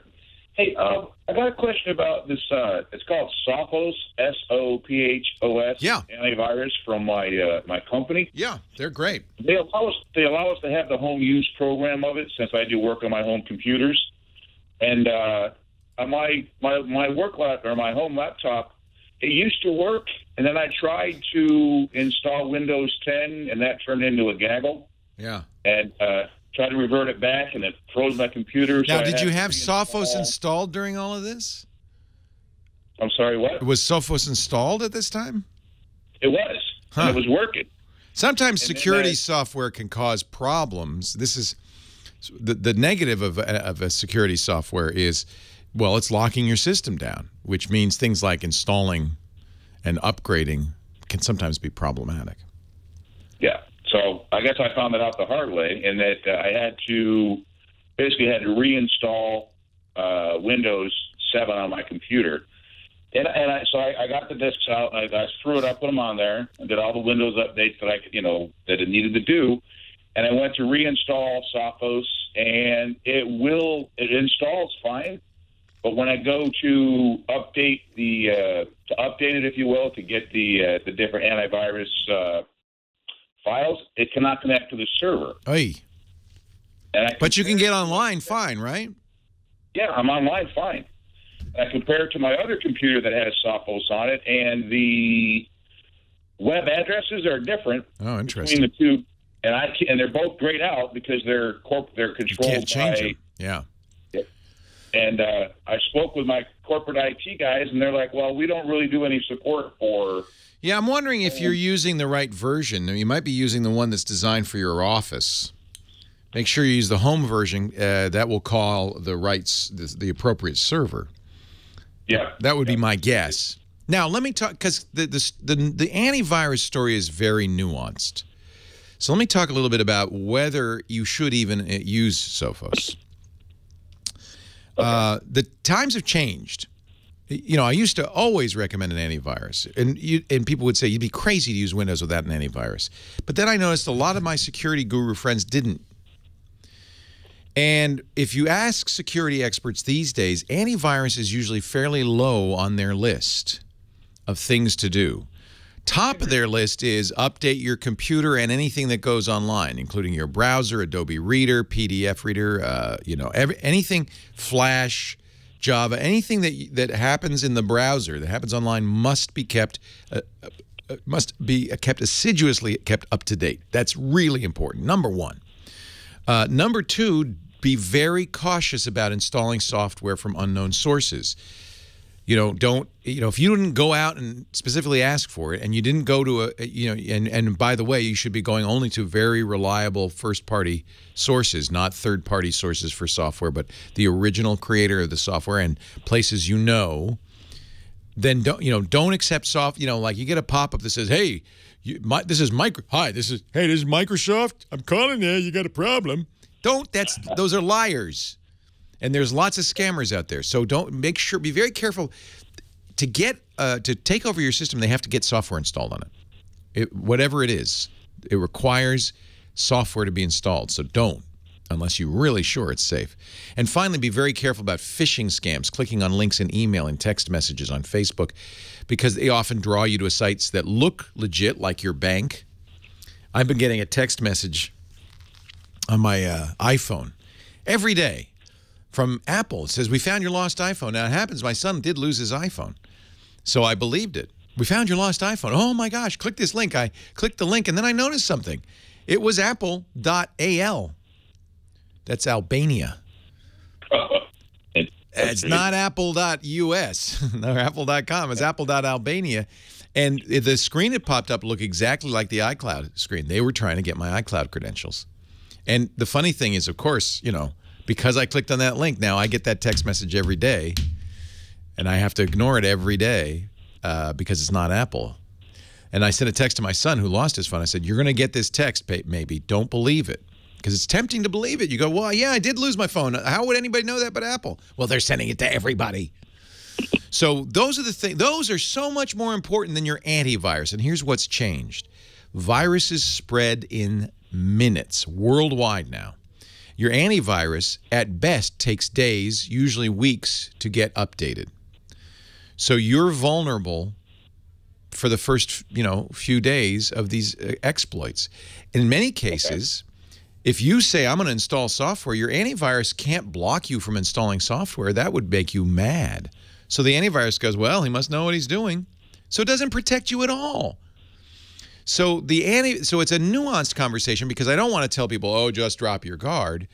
But it isn't the most important thing. In fact, in many cases, it just gives you a false sense of security. You go, well, I, I can do anything I want. I've got an antivirus. No, you can't. And this, there's this side effect, which is that any security software is going to try to block you from doing some things. And that may be why you had all these problems to begin with. So take Sophos off. Okay. You don't need it. Now, Microsoft uh, Windows 10 comes with an antivirus. They, Microsoft calls it Defender. It's essentially the same as the Microsoft Security Essentials free antivirus they've been offering since Windows 7. It, that is much less intrusive. If you if you feel better having an antivirus, and I wouldn't blame you, download that. It's free. It's unobtrusive. It does not get in your way. Does not block stuff, and it's good enough. That's the Windows Defender. Uh, well, in this case, it's called Microsoft because you're using Windows 7 microsoft.com slash security underscore essentials or Google Microsoft Security Essentials or Bing it, and you and you'll go right to that page. It's free. It's it's unobtrusive. It's all you need. Excellent, excellent, sir. I appreciate your input. Yeah, and I think the Sophos is what caused these problems. Just get it, get rid of it. It's free, but it just free's not necessarily a good thing. free pain in the you know what. I'll give you a free kick in the butt. No problem. Free. Okay, I'll take it. It's free. Thank you, Steve. Yeah, I, I, this is not an uncommon thing, and I'm glad you gave me the call because I really, it's a hard conversation because you can't just say, oh, get an antivirus or don't get an antivirus. But it's not the most important thing. Keep your system up to date. Don't accept candy from strangers. Those kinds of things are much, much more, more important. Uh, and, and in, in, some cases, antiviruses actually could give you a virus. They're, these are not unheard of, also. I don't want to get in that. All right, we're going to take a break. Hour number three still to come. Lots of calls. Uh, Steve uh, in Yucaipa, we just did him. So uh, next it's going to be Den in Fresno. Stay tuned. Leo Laporte, the tech guy.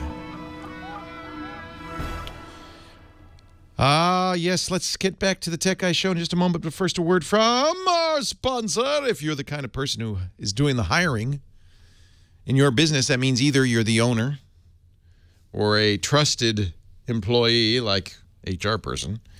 You know that the people you hire for your business are the people who make or break your business. Businesses, companies are made of people. That's what makes a, a company work or not. So the sad thing is, of course, that when you're hiring, uh, you're short-staffed, you're short-handed, you're in a hurry, and this is the last time. You know, you don't you don't have the energy, perhaps, or the uh, or the manpower to to do the hiring. You want to get it done fast, but you still want to pick a great person. That's why we use and love ZipRecruiter. ZipRecruiter.com/slash tech guy for more information. ZipRecruiter. Okay, the first thing is you don't have to figure out which job board to post on. You know that perfect employee's out there somewhere. Which job board are they on? I don't know. Well, how about this? You post once to ZipRecruiter and they put it on 100 plus job boards, including all the big social sites like LinkedIn and Twitter, Facebook. Your, your posting is going to reach everybody. And that's what you want, right? Because you don't know where that right person is. They also will match your listing against nearly 6 million current resumes they have on file. So you're going to get – one post, you're going to get candidates rolling in. Now, a lot of people say, oh gosh, that means a lot of emails or phone calls. No, it doesn't because they roll into the ZipRecruiter interface. This is sweet. You can screen the candidates, rate the candidates, and hire the right person fast. This is such a good idea. This is once again the internet showing us how to do it all. No wonder 400,000 plus businesses have used ZipRecruiter, including ours. You could try it now for free. Here's a Scott, a happy ZipRecruiter client. He said the recruiting process used to be so painful. Uh, previously, I'd post to several places. I'd get a million resumes, but only a few responses from qualified candidates. This was torture. But with ZipRecruiter, we post once and we get qualified candidates in one easy-to-review place. We have hired, I love this, some of our best employees using ZipRecruiter. That's the point. That's the bottom line. You got to get the right people to make your company sing. And ZipRecruiter is the way to do it. No wonder, look at all these great companies who use ZipRecruiter. You should too, and it's free. Go to ziprecruiter.com slash tech guy. Four days free. That'll be enough to get, who knows, hundreds, maybe thousands of qualified candidates in your inbox. Well, your ZipRecruiter interface. ZipRecruiter.com slash tech guy. Try it. Well, hey, hey, hey, how are you today? Leo Laporte here, the tech guy. Time to talk computers and the internet and home theater and digital photography, smartphones, smartwatches, electric cars, self-driving vehicles, and all that jazz. 88 88 Ask Leo, that's the phone number. 888 827 5536. Toll free from anywhere in the U.S. or Canada. Den, Fresno, you're next. Hi, Den. Hey, Leo. How's it going? Ah, it's going great. How are you? Uh, pretty good. Um, I have a question. I uh, my old all-in-one printer, my OfficeJet, finally died on me. So I'm looking for a new one. Um, I checked out the Wirecutter, and they're recommending the Epson Workforce 3620. Now that's inkjet. Uh, you your OfficeJet was laser, right? Or no? No, it was an inkjet. It was an inkjet. Okay. Yeah. Um, problem is, is that um, I'm blind, and I'm noticing that on a lot of these, yeah. the other ones, they have screens now and touch screen. Touch screen. Yeah. and so I'm like, okay, how do I, you know, well, that one even is a combination. It says, it has, I guess, like a number pad of buttons, but the rest, the actual menu interface part. Right, and of course you're not going to get a screen reader on a printer screen. Well, you know what's interesting? I think I don't remember if it's Canon or one of those, the ones that do like for big offices. They actually do have accessible.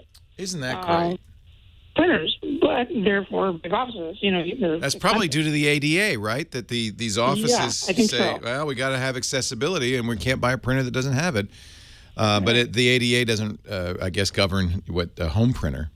Uh, No. Unfortunately, uh, that's a really interesting uh, question. I, you know, unfortunately, I, I don't have the expertise to uh, judge or knowledge of accessibility products because I've never used them, and so. Right. You're using a screen reader, I presume, on your desktop computer or laptop, right?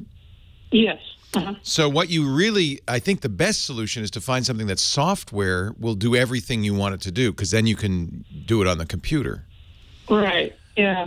uh, and not have to use the front screen. And I, it's my impression that um, everything you want to do on the Epson can be done on the Epson software as well as on the front panel. Okay. My only concern was, you know, sometimes some of that software isn't accessible. Well, that's another matter, and if it's not, shame on them. Uh, you that know, would, yeah. Kind of a, a moving target. You know, you never Yeah. know. So, squ- so fill me in then. So, uh, you're using JAWS?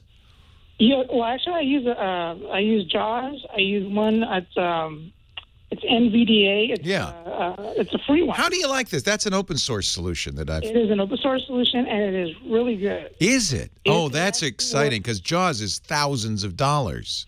Yeah, it actually works really, really well uh, in Windows 10.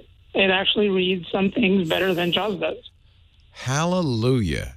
Yeah, it's it's it's pretty incredible some of the stuff that they've actually um, accomplished with that piece of So, software. but some di- like dialogue boxes you can't read into. The the screen reader won't see it.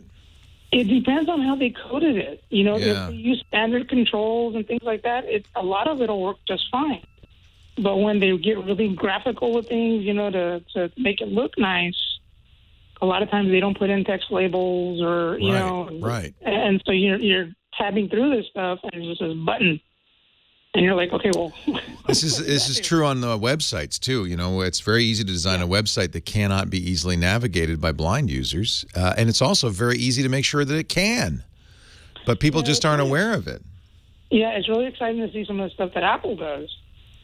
Uh, especially like with their developer conferences, where they actually have Yeah, they've really focused on this, haven't they? you know, whole whole uh, talks on accessibility stuff. Yeah, Microsoft hired a woman. I met her at a at a uh, conference to go cross all the divisions to, you know, really make sure accessibility was uh, was a forefront for them.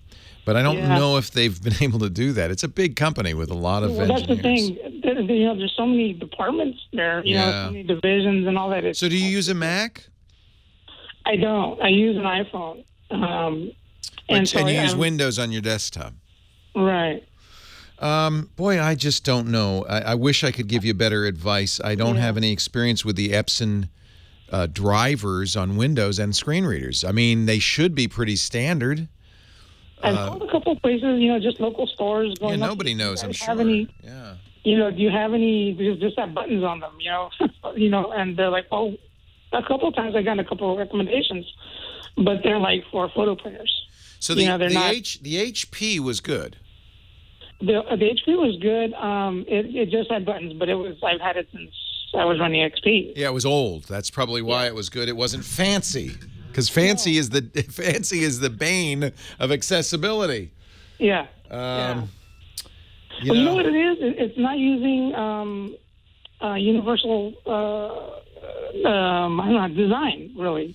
Here's the, I'm going to read you something now. I remember Epson's a sponsor. Mm-hmm. I have to say that as a disclaimer. So, because I, love Epson printers, as I said, I have no experience with accessibility, but I'm reading on Epson's site about the 508 regulation. It says.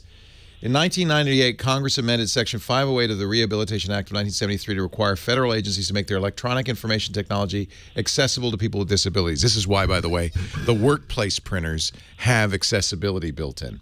The standards define electronic and information technology Uh, Epson supports the effort of the federal government in making technology accessible for people with disabilities and is committed to assisting government customers to conform to 508.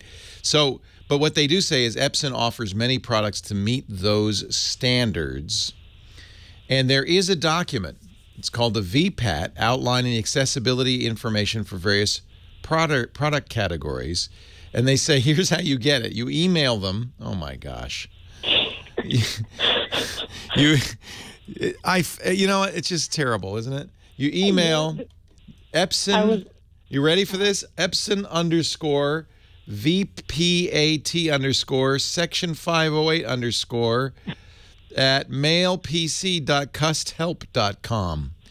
And you can say to them in this email, what the what is Yeah. uh, is the Epson Workforce control panel screen reader accessible? Yeah. I wish that um, that's a ridiculous. I mean, they're you know this is because they have to support this for the government. I might it I would be my guess that they do, that they I have might even just call Epson and say, "You guys have some with buttons on it." and say yeah right say say this say well I'm inter- interested in section 508 compatibility in regards to VPAT so uh, and I'm thinking about buying 8,000 of your printers for my governmental agency. Tell me, tell me, Epson, how how accessible is your control panel? Obviously, the push button one on the front of the printer isn't. The real question is, does the software in the computer allow a screen reader to navigate it? If it does, I think you're go- you're good. Yeah. Yeah. I can't believe that that's their answer is, well, email this ridiculous address. There was recently a company that was advertising a, an accessibility position at their at their in their company. Yeah. And so when you go to the to apply for the, the, the job, you go through this whole process, and at the very end, there's a captcha that is not accessible. Oh, nice. So there's no way to actually. So you can't really apply. You can't really apply for it. Yeah, we don't want we don't we don't want robots and we don't want you.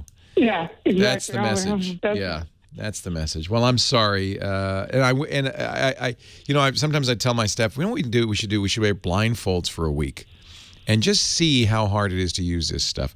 But you know, it wouldn't even be a good test because we have no experience. So uh, you know, I'm sure the first time you use screen readers, it was difficult. It takes a while.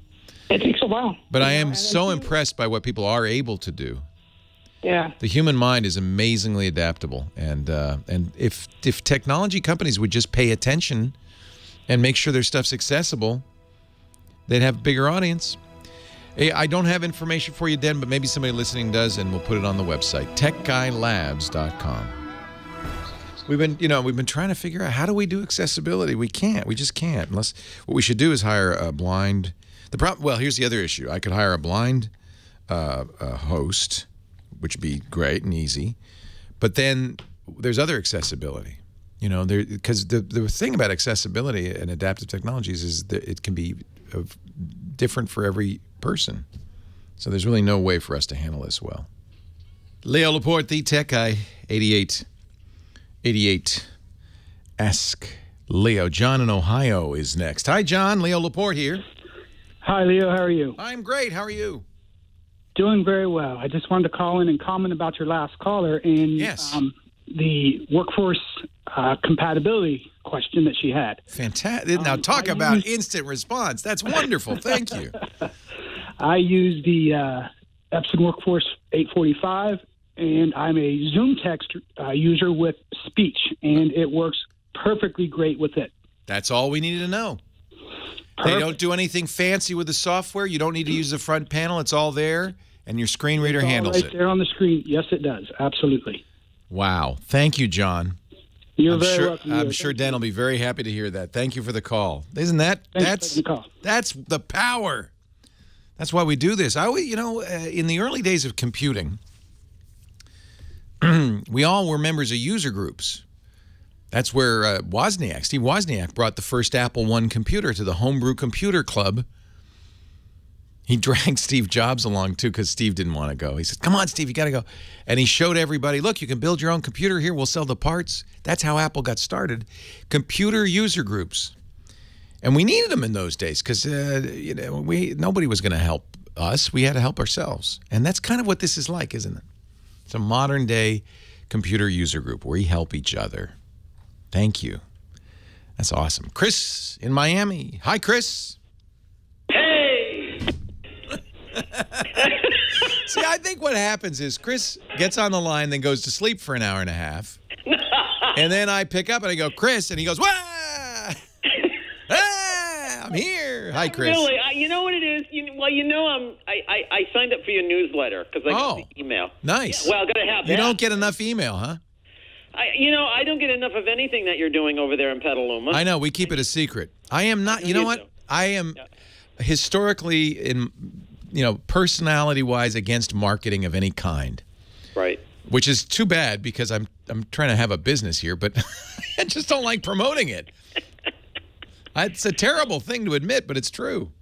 Your new studio that you had put out on the, the Twitter. You like that picture? Oh wow, that's that's nice.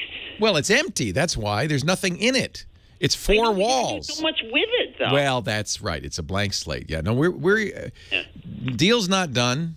I know. These things, there's many a slip to its the to cup in the lip, but uh, we're hopeful because uh, they're turning this lovely studio that we built at great expense five years ago into a brewery. Oh, because beer. the Petaluma doesn't have enough beer apparently. so they're going to put big vats of fermenting malt in right where I'm sitting. And that wouldn't really be conducive to a radio show, so we're going to find No. somewhere else. So you know, I wanted to. Um, I heard Miss Susan on the call today about women in the tech industry, and it brought me back to last week's call with the pick, pick, pick, pick, pick. But I mean, this is fine. I get it, and and you know, I gave one woman a chance once when it came to tech. That was Miss. That was Kim Komando. Are you an evil sexist pig? I'm. You know. I, no, there are I, there are I'm open-minded. please because it really is hard for women in technology because I know. I know. I know. people mistreat them and uh, we want more women in our workplace. We want more women designing hardware and software because why not? Why why only take half of the world's brains? I agree with you. I'm I'm not against this. It's just I think there's always something behind. Like look at Kim Komando. I gave her a chance and chance. I gave her too many chances, and you know what? She never got back in touch with me. I even asked friends of mine that used to listen to her, and I said, you know what? We're all going in with Leo Laporte, the tech guy. That's it. We're all. That's it. We're done with you. We're done with you. Well, I you know uh, Kim. Uh, we don't usually mention Kim because she's it's like uh, Shell mentioning Exxon. She's a competitor, uh, but uh, she does. Uh, she's actually much bigger. She's in more markets than my show ever was uh, or ever will be, and. Uh, you know, uh, God bless her. I think anybody who's helping people understand technology is doing God's work. So Well, we I'm all all for. I'm all for it. But if you would, but I also am all for listening to me instead of her. Right. I can't. I can't. We're all. I'm not a good I'm not a good marketer, but on the other hand, if you want to listen to me, I won't stop you. No, and that's what we all do. We Thank all, you. all Thank over you, Chris. Miami and all over, all came Thank over. you. Let's go to Leo because you know I'm sure. Not it has nothing to do with gender, by the way. huh? That has nothing to do with gender. No, it has to do In with. fact, I'm sure you would prefer if I were an attractive woman. Not really. Oh, I like you just the way you are. that says a lot about you, Chris. Guy works for me. In any event, and and I also apologize to all the tech guys out there who I characterized yeah on the last show as sitting in the back of a fly specked cluttered shop with old technology and a t-shirt and stains and actually I said it wasn't it wasn't a stained t-shirt it was a Windows 95 start me up t-shirt smoking luckies and waiting for somebody to come in with a computer problem.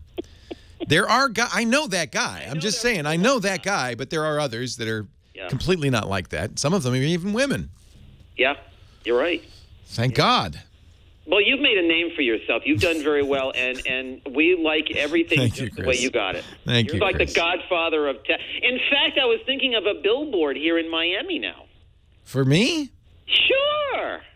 Can you put it next to that upside down house that got that's like stood is on its roof? The oh, hurricane house? That's like an amu what is that? An amusement park? What is that? I have no idea. You've never seen that? There's it's on it's in yeah. No, but it sounds interesting. Yeah, that's Maybe wonderful. put some around- Yeah, well, you know, I think the more we, I can never get enough of what you do. I think you're, I absolutely. Oh, you're very kind. Better. I am. You're you know. very kind. Thank you. Now, can I answer a question for you? Yeah, uh, yeah. unless unless you don't really care. If you don't care, I, I don't need to.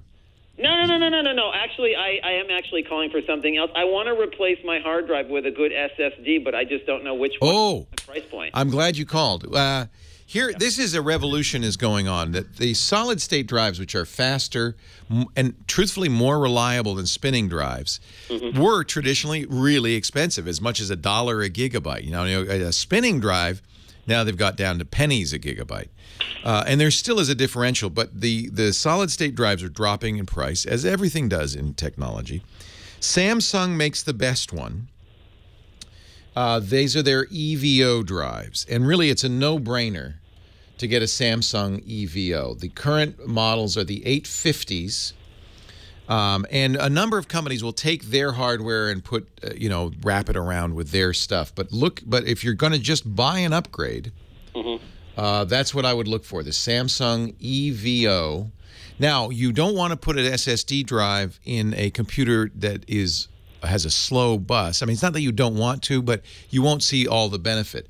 Uh, these solid state drives are so fast that they will saturate a SATA 3 bus. They'll use every bit and the bus is the where the data goes through it's the tunnel the data goes through and you want the tunnel to be big enough to handle all the data that's going to come off the hard drive the sata 1 serial ata interface 1 went at one and a half gigabits per second that's about 150 megabytes per second but this drive the evo does 450 megabytes a second to get that kind of throughput, you want a SATA 2 or even a SATA 3 connection. It's just going to give you the better results. Leo Laporte, the tech guy.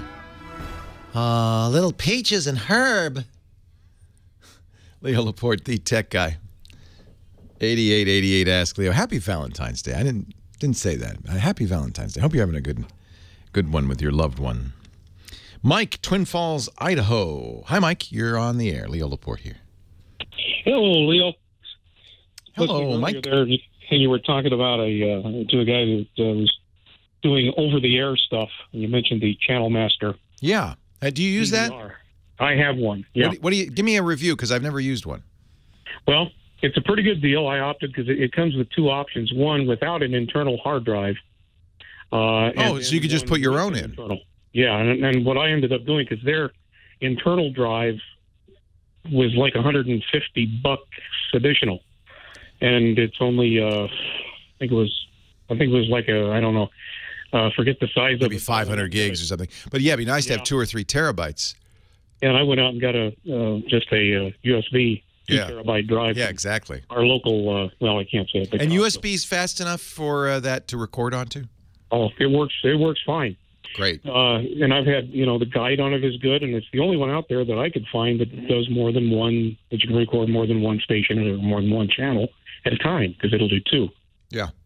And of course, there's no fees like there is for the, uh, Yeah. TiVo, which Yeah, T- I love TiVo, but I really hate it that I had to pay for the uh, guide. yeah, for like what is it, uh, twenty bucks a month or something. Yeah, I just ended up getting the lifetime, which was like a couple of hundred bucks. But And the, and the guide that comes with the Channel Master that they use seems to be, uh, you know, I mean, it's accurate, had very little problems. The only issue I have with it seems to be with the tuner itself.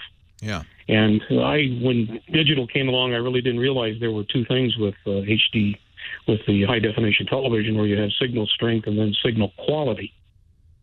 And the problem I have with it, with a couple of the channels up here, we get like, I think it's like 18 channels over the air, is there's one in particular, our ABC station, where I'll get 100% signal strength, but the uh, signal quality sometimes goes down to zero. that's weird because if it's a digital signal, you know, analog signals. How we all remember, if we're of a certain age, ghosting and lines going through the picture, and you know, you're watching Ralph Kramden on the Honeymooners, and there's three of them, and uh, all of that was because it was analog signals, and analog signals have problems, signal path reflection, and Right. they degrade, but they degrade instead of not working. Digital, in theory, either works or doesn't work. Well, that's what I always thought. And Yeah. the thing that's kind of kind of weird is I've got it running through a splitter so I can watch that's the over the air uh, on a uh, you know on my television. Yeah, that could be a pro- source of problems too, of course. And I've and I've tried it both with and without the splitter, and I haven't really noticed any kind of difference. Yeah, you know, because it's ones and zeros, either the ones and zeros get through or they don't. Well, that's what I was kind of under the impression, and because on the television I have very little problems, very little pixelization or everything, and I live in an apartment, ground floor on the opposite side of where all the uh, transmitter towers are. But uh, when I hook up the, uh, the the DVR, it has uh, in the settings and in the uh, technical information, it lets you look at what the signal strength and the signal quality is. And it's just so bizarre that I'll have like a hundred percent signal strength, and I can watch the signal quality just go from down from zero up to twenty, up to fifty, up to sixty, back down to Oh, that is weird. up to eighty. Yeah. And I don't know whether or not, I guess the question I kind of had, and I've talked with Channel Master Tech Support. They finally just quit responding to emails. uh, we can't help you. They had me do everything from, you know, doing a factory reset. Uh, they wanted me to change my zip code. I That- that's called grasping at straws. I don't think that's going to affect the signal quality. Well, so here's the the, I do it- here's the deal. Uh, there's somebody in the chat room says uh, I had exactly the same problem with my Channel Master, and uh, he said Channel Master could never figure it out. I could never figure it out, but I did move it to another room, and it seems to work fine. Well, before we moved into the apartment, we lived in a house and I had an outdoor antenna. And I really didn't notice too much of a problem there, with exception with the ABC. And I'm just kind of wondering if the television transmitter here and the way it operates here in Twin Falls, we don't have the only local affiliate we have is CBS. The others kind of retransmit kind of out of uh, Boise. They may even be analog because you know there are, eh, analog isn't gone in broadcast. Some uh, the FCC allowed some, especially in the smaller markets, stations to stay analog. Yeah. I'm wondering. This sounds like analog misbehavior, and I'm wondering Well, if they know. may be analog. Well, I'm getting, you know, I get high definition. It comes out with uh, it's 760. Well, oh, you can ABC s- and the the best. You know what? You can send it. You can send HD over analog. That doesn't have anything to do with it. Um, uh, you know, I, you know, I don't know, but it. Uh, it it does sound like there may be crosstalk of some kind introduced. Um, it may be that it's hunting. You know what? This happens with smartphones as well. If you could see two signals, or even laptops, if you could see two signals for the same thing, and maybe that's what's happening because you've got these repeaters. It may be going back and forth, saying, "Well, there's one here. Oh, wait a minute, there's one here. Oh, there's one here, but where there's one here," and I think that's probably why they wanted you to change the zip code. Um, the only thing I haven't done was actually contact like the engineers at the at the ABC affiliate here and ask them. I you might ask them, is there more than one source on this frequency? It may be that they have a repeater and you're going back and forth. I don't it's an odd thing and I don't know what it is and I I wish I could help you on this. Yeah, the, Um, the weird thing is, is it seems to it seems to change throughout the day, too.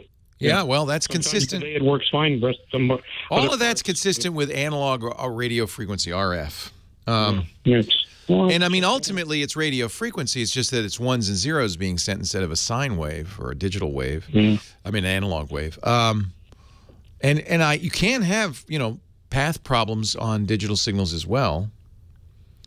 Gosh, I just I just don't know. Uh, this might be another one for tvfool.com. You give it your zip code, it'll give you some information about the antennas Yeah, and I'll have to check that. yeah, that's a really useful site, especially because it's crowdsourced. They have a lot of good stuff there. You know, we did uh, you know some TV uh, inside interior uh, indoor antenna checking. What I've got is a Winegard now. That Yeah, the Winegards are good. walls. So- a, flat one, but and I had a Turk that I used in the other house, and it worked fine. But here, it's kind of it, it all depends on the sweet spots. Welcome to over RF. the- It's a it's a voodoo sign. I mean, it's just voodoo. Um, The TV fool will tell you if there are other signals on that same frequency. Uh, I mean, that's the kind of thing to look for. Um, maybe it's close, and you're and the and the tuners. You know, I mean, is is it KSAW? Yeah. Uh huh. That is uh, that that I think is uh, somebody in the chat room saying, "Oh yeah, that's a low power station." That Yeah, means it may be power. it may be analog. A lot of low powers are still analog. Uh, yes, it is. So I guess TV Fool had the answer. So um, that could be the source of the problem.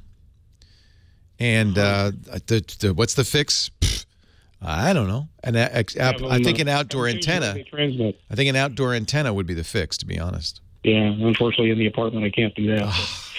but uh, but you know, maybe I can get KSAW to change their uh, change their uh, transmission. Yeah. Hey. Technology. Hey, fix this.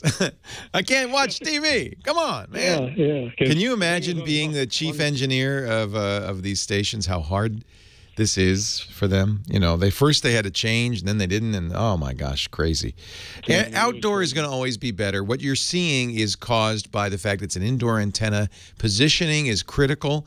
Where it not just where it is in the room, where it is in the house, all of that stuff. And the more you can play with that and see what happens, uh, the better the results. This all seems consistent with multipath interference, which can affect digital as well. Um, I, I can't, you know, I can't give you more than that. Uh, TV Fool is a great source of information, and it's just going to take a lot of trial and error, I believe. Leo Laporte, the tech guy, 8888 Ask Leo. More of your calls to come.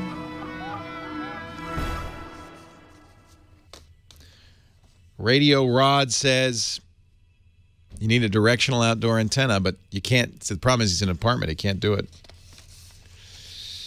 We got some RF RF gurus in the studio. That's in the uh, audience. That's nice. Leo Laporte, the tech guy. 8888. Ask Leo. Uh, back to the phones we go here. Uh, Michael on the line from Los Angeles. Hey, Michael. Hey, Leo, how's it going? It's great. How are you? I'm all right. So, listen, I've got a Motorola RAZR. Okay. I downloaded the new Android. It's the um, it's the KitKat 4.4. Mhm. So I've got two major problems. I can't seem to get more than an hour out of this phone. Ay, ay, ay, um. That's not very much.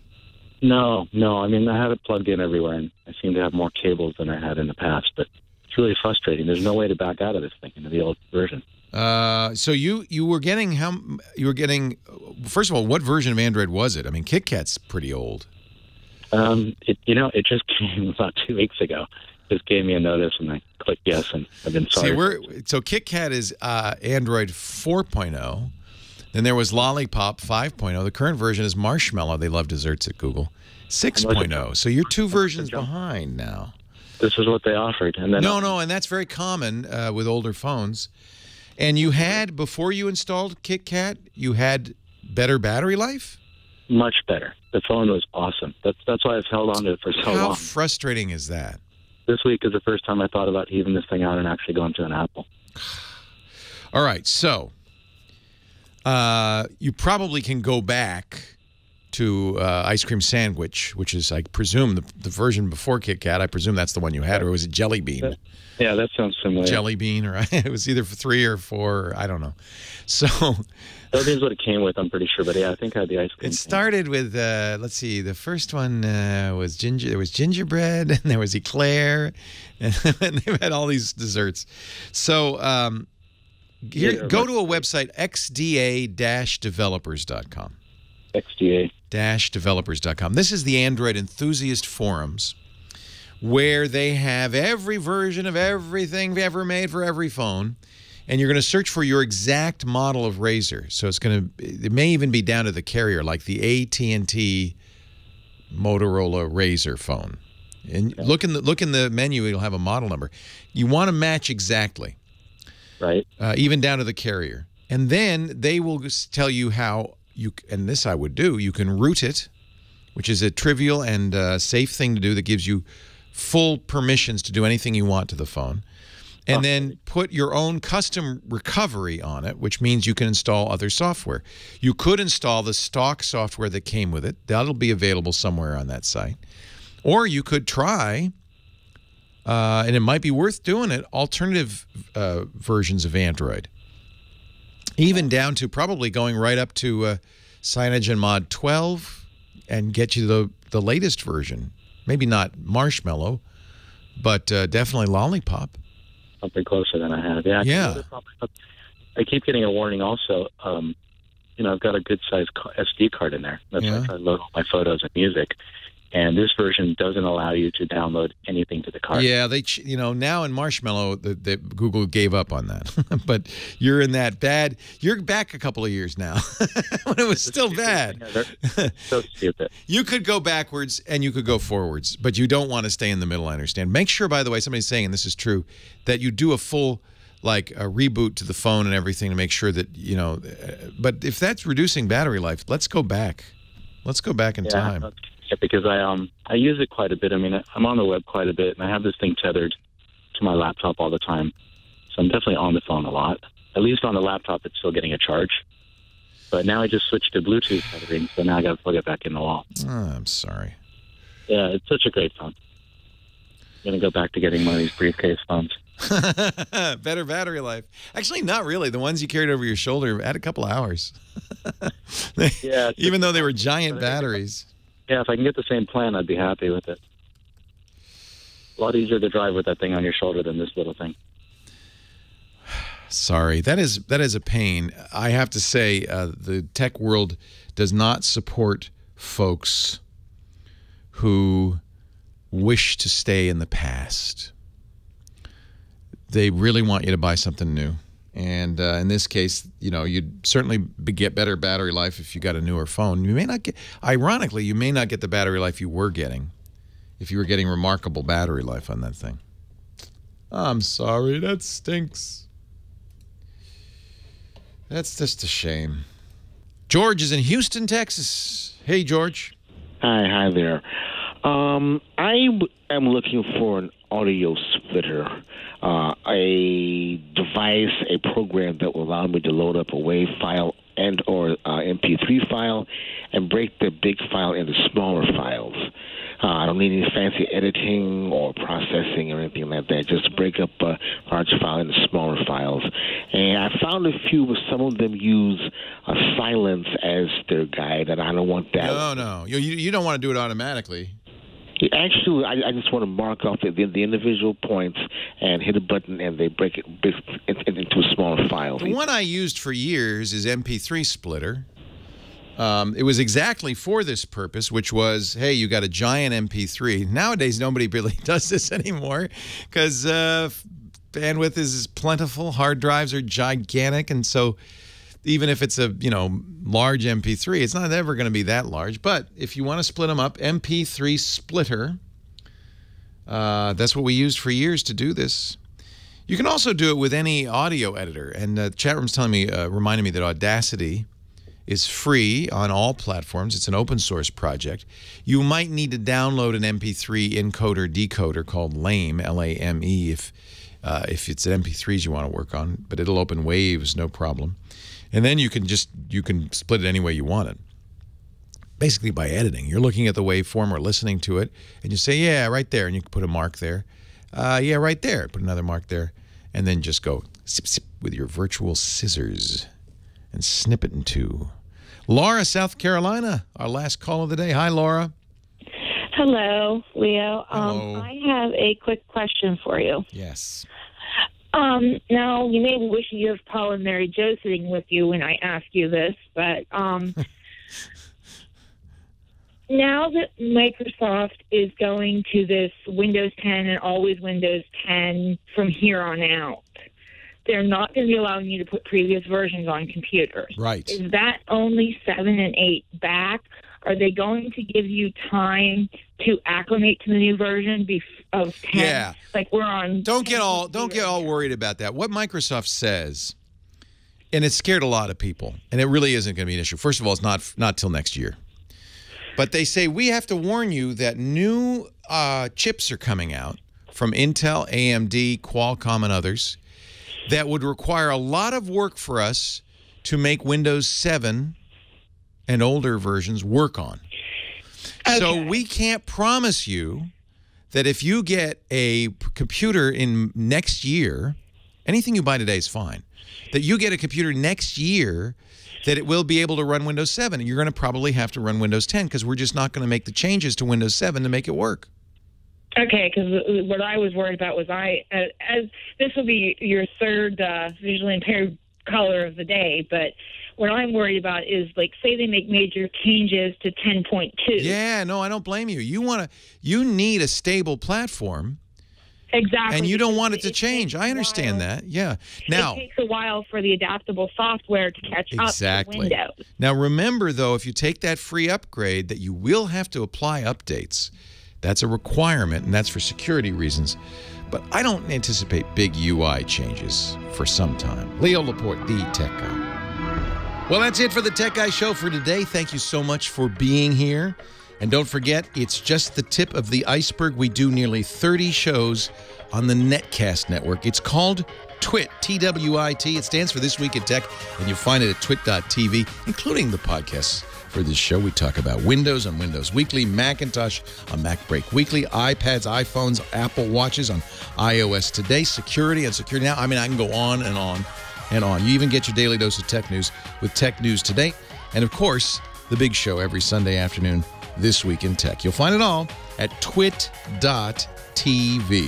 And I'll be back next week with another great Tech Guys show. Thanks for joining me. I'll see you next time.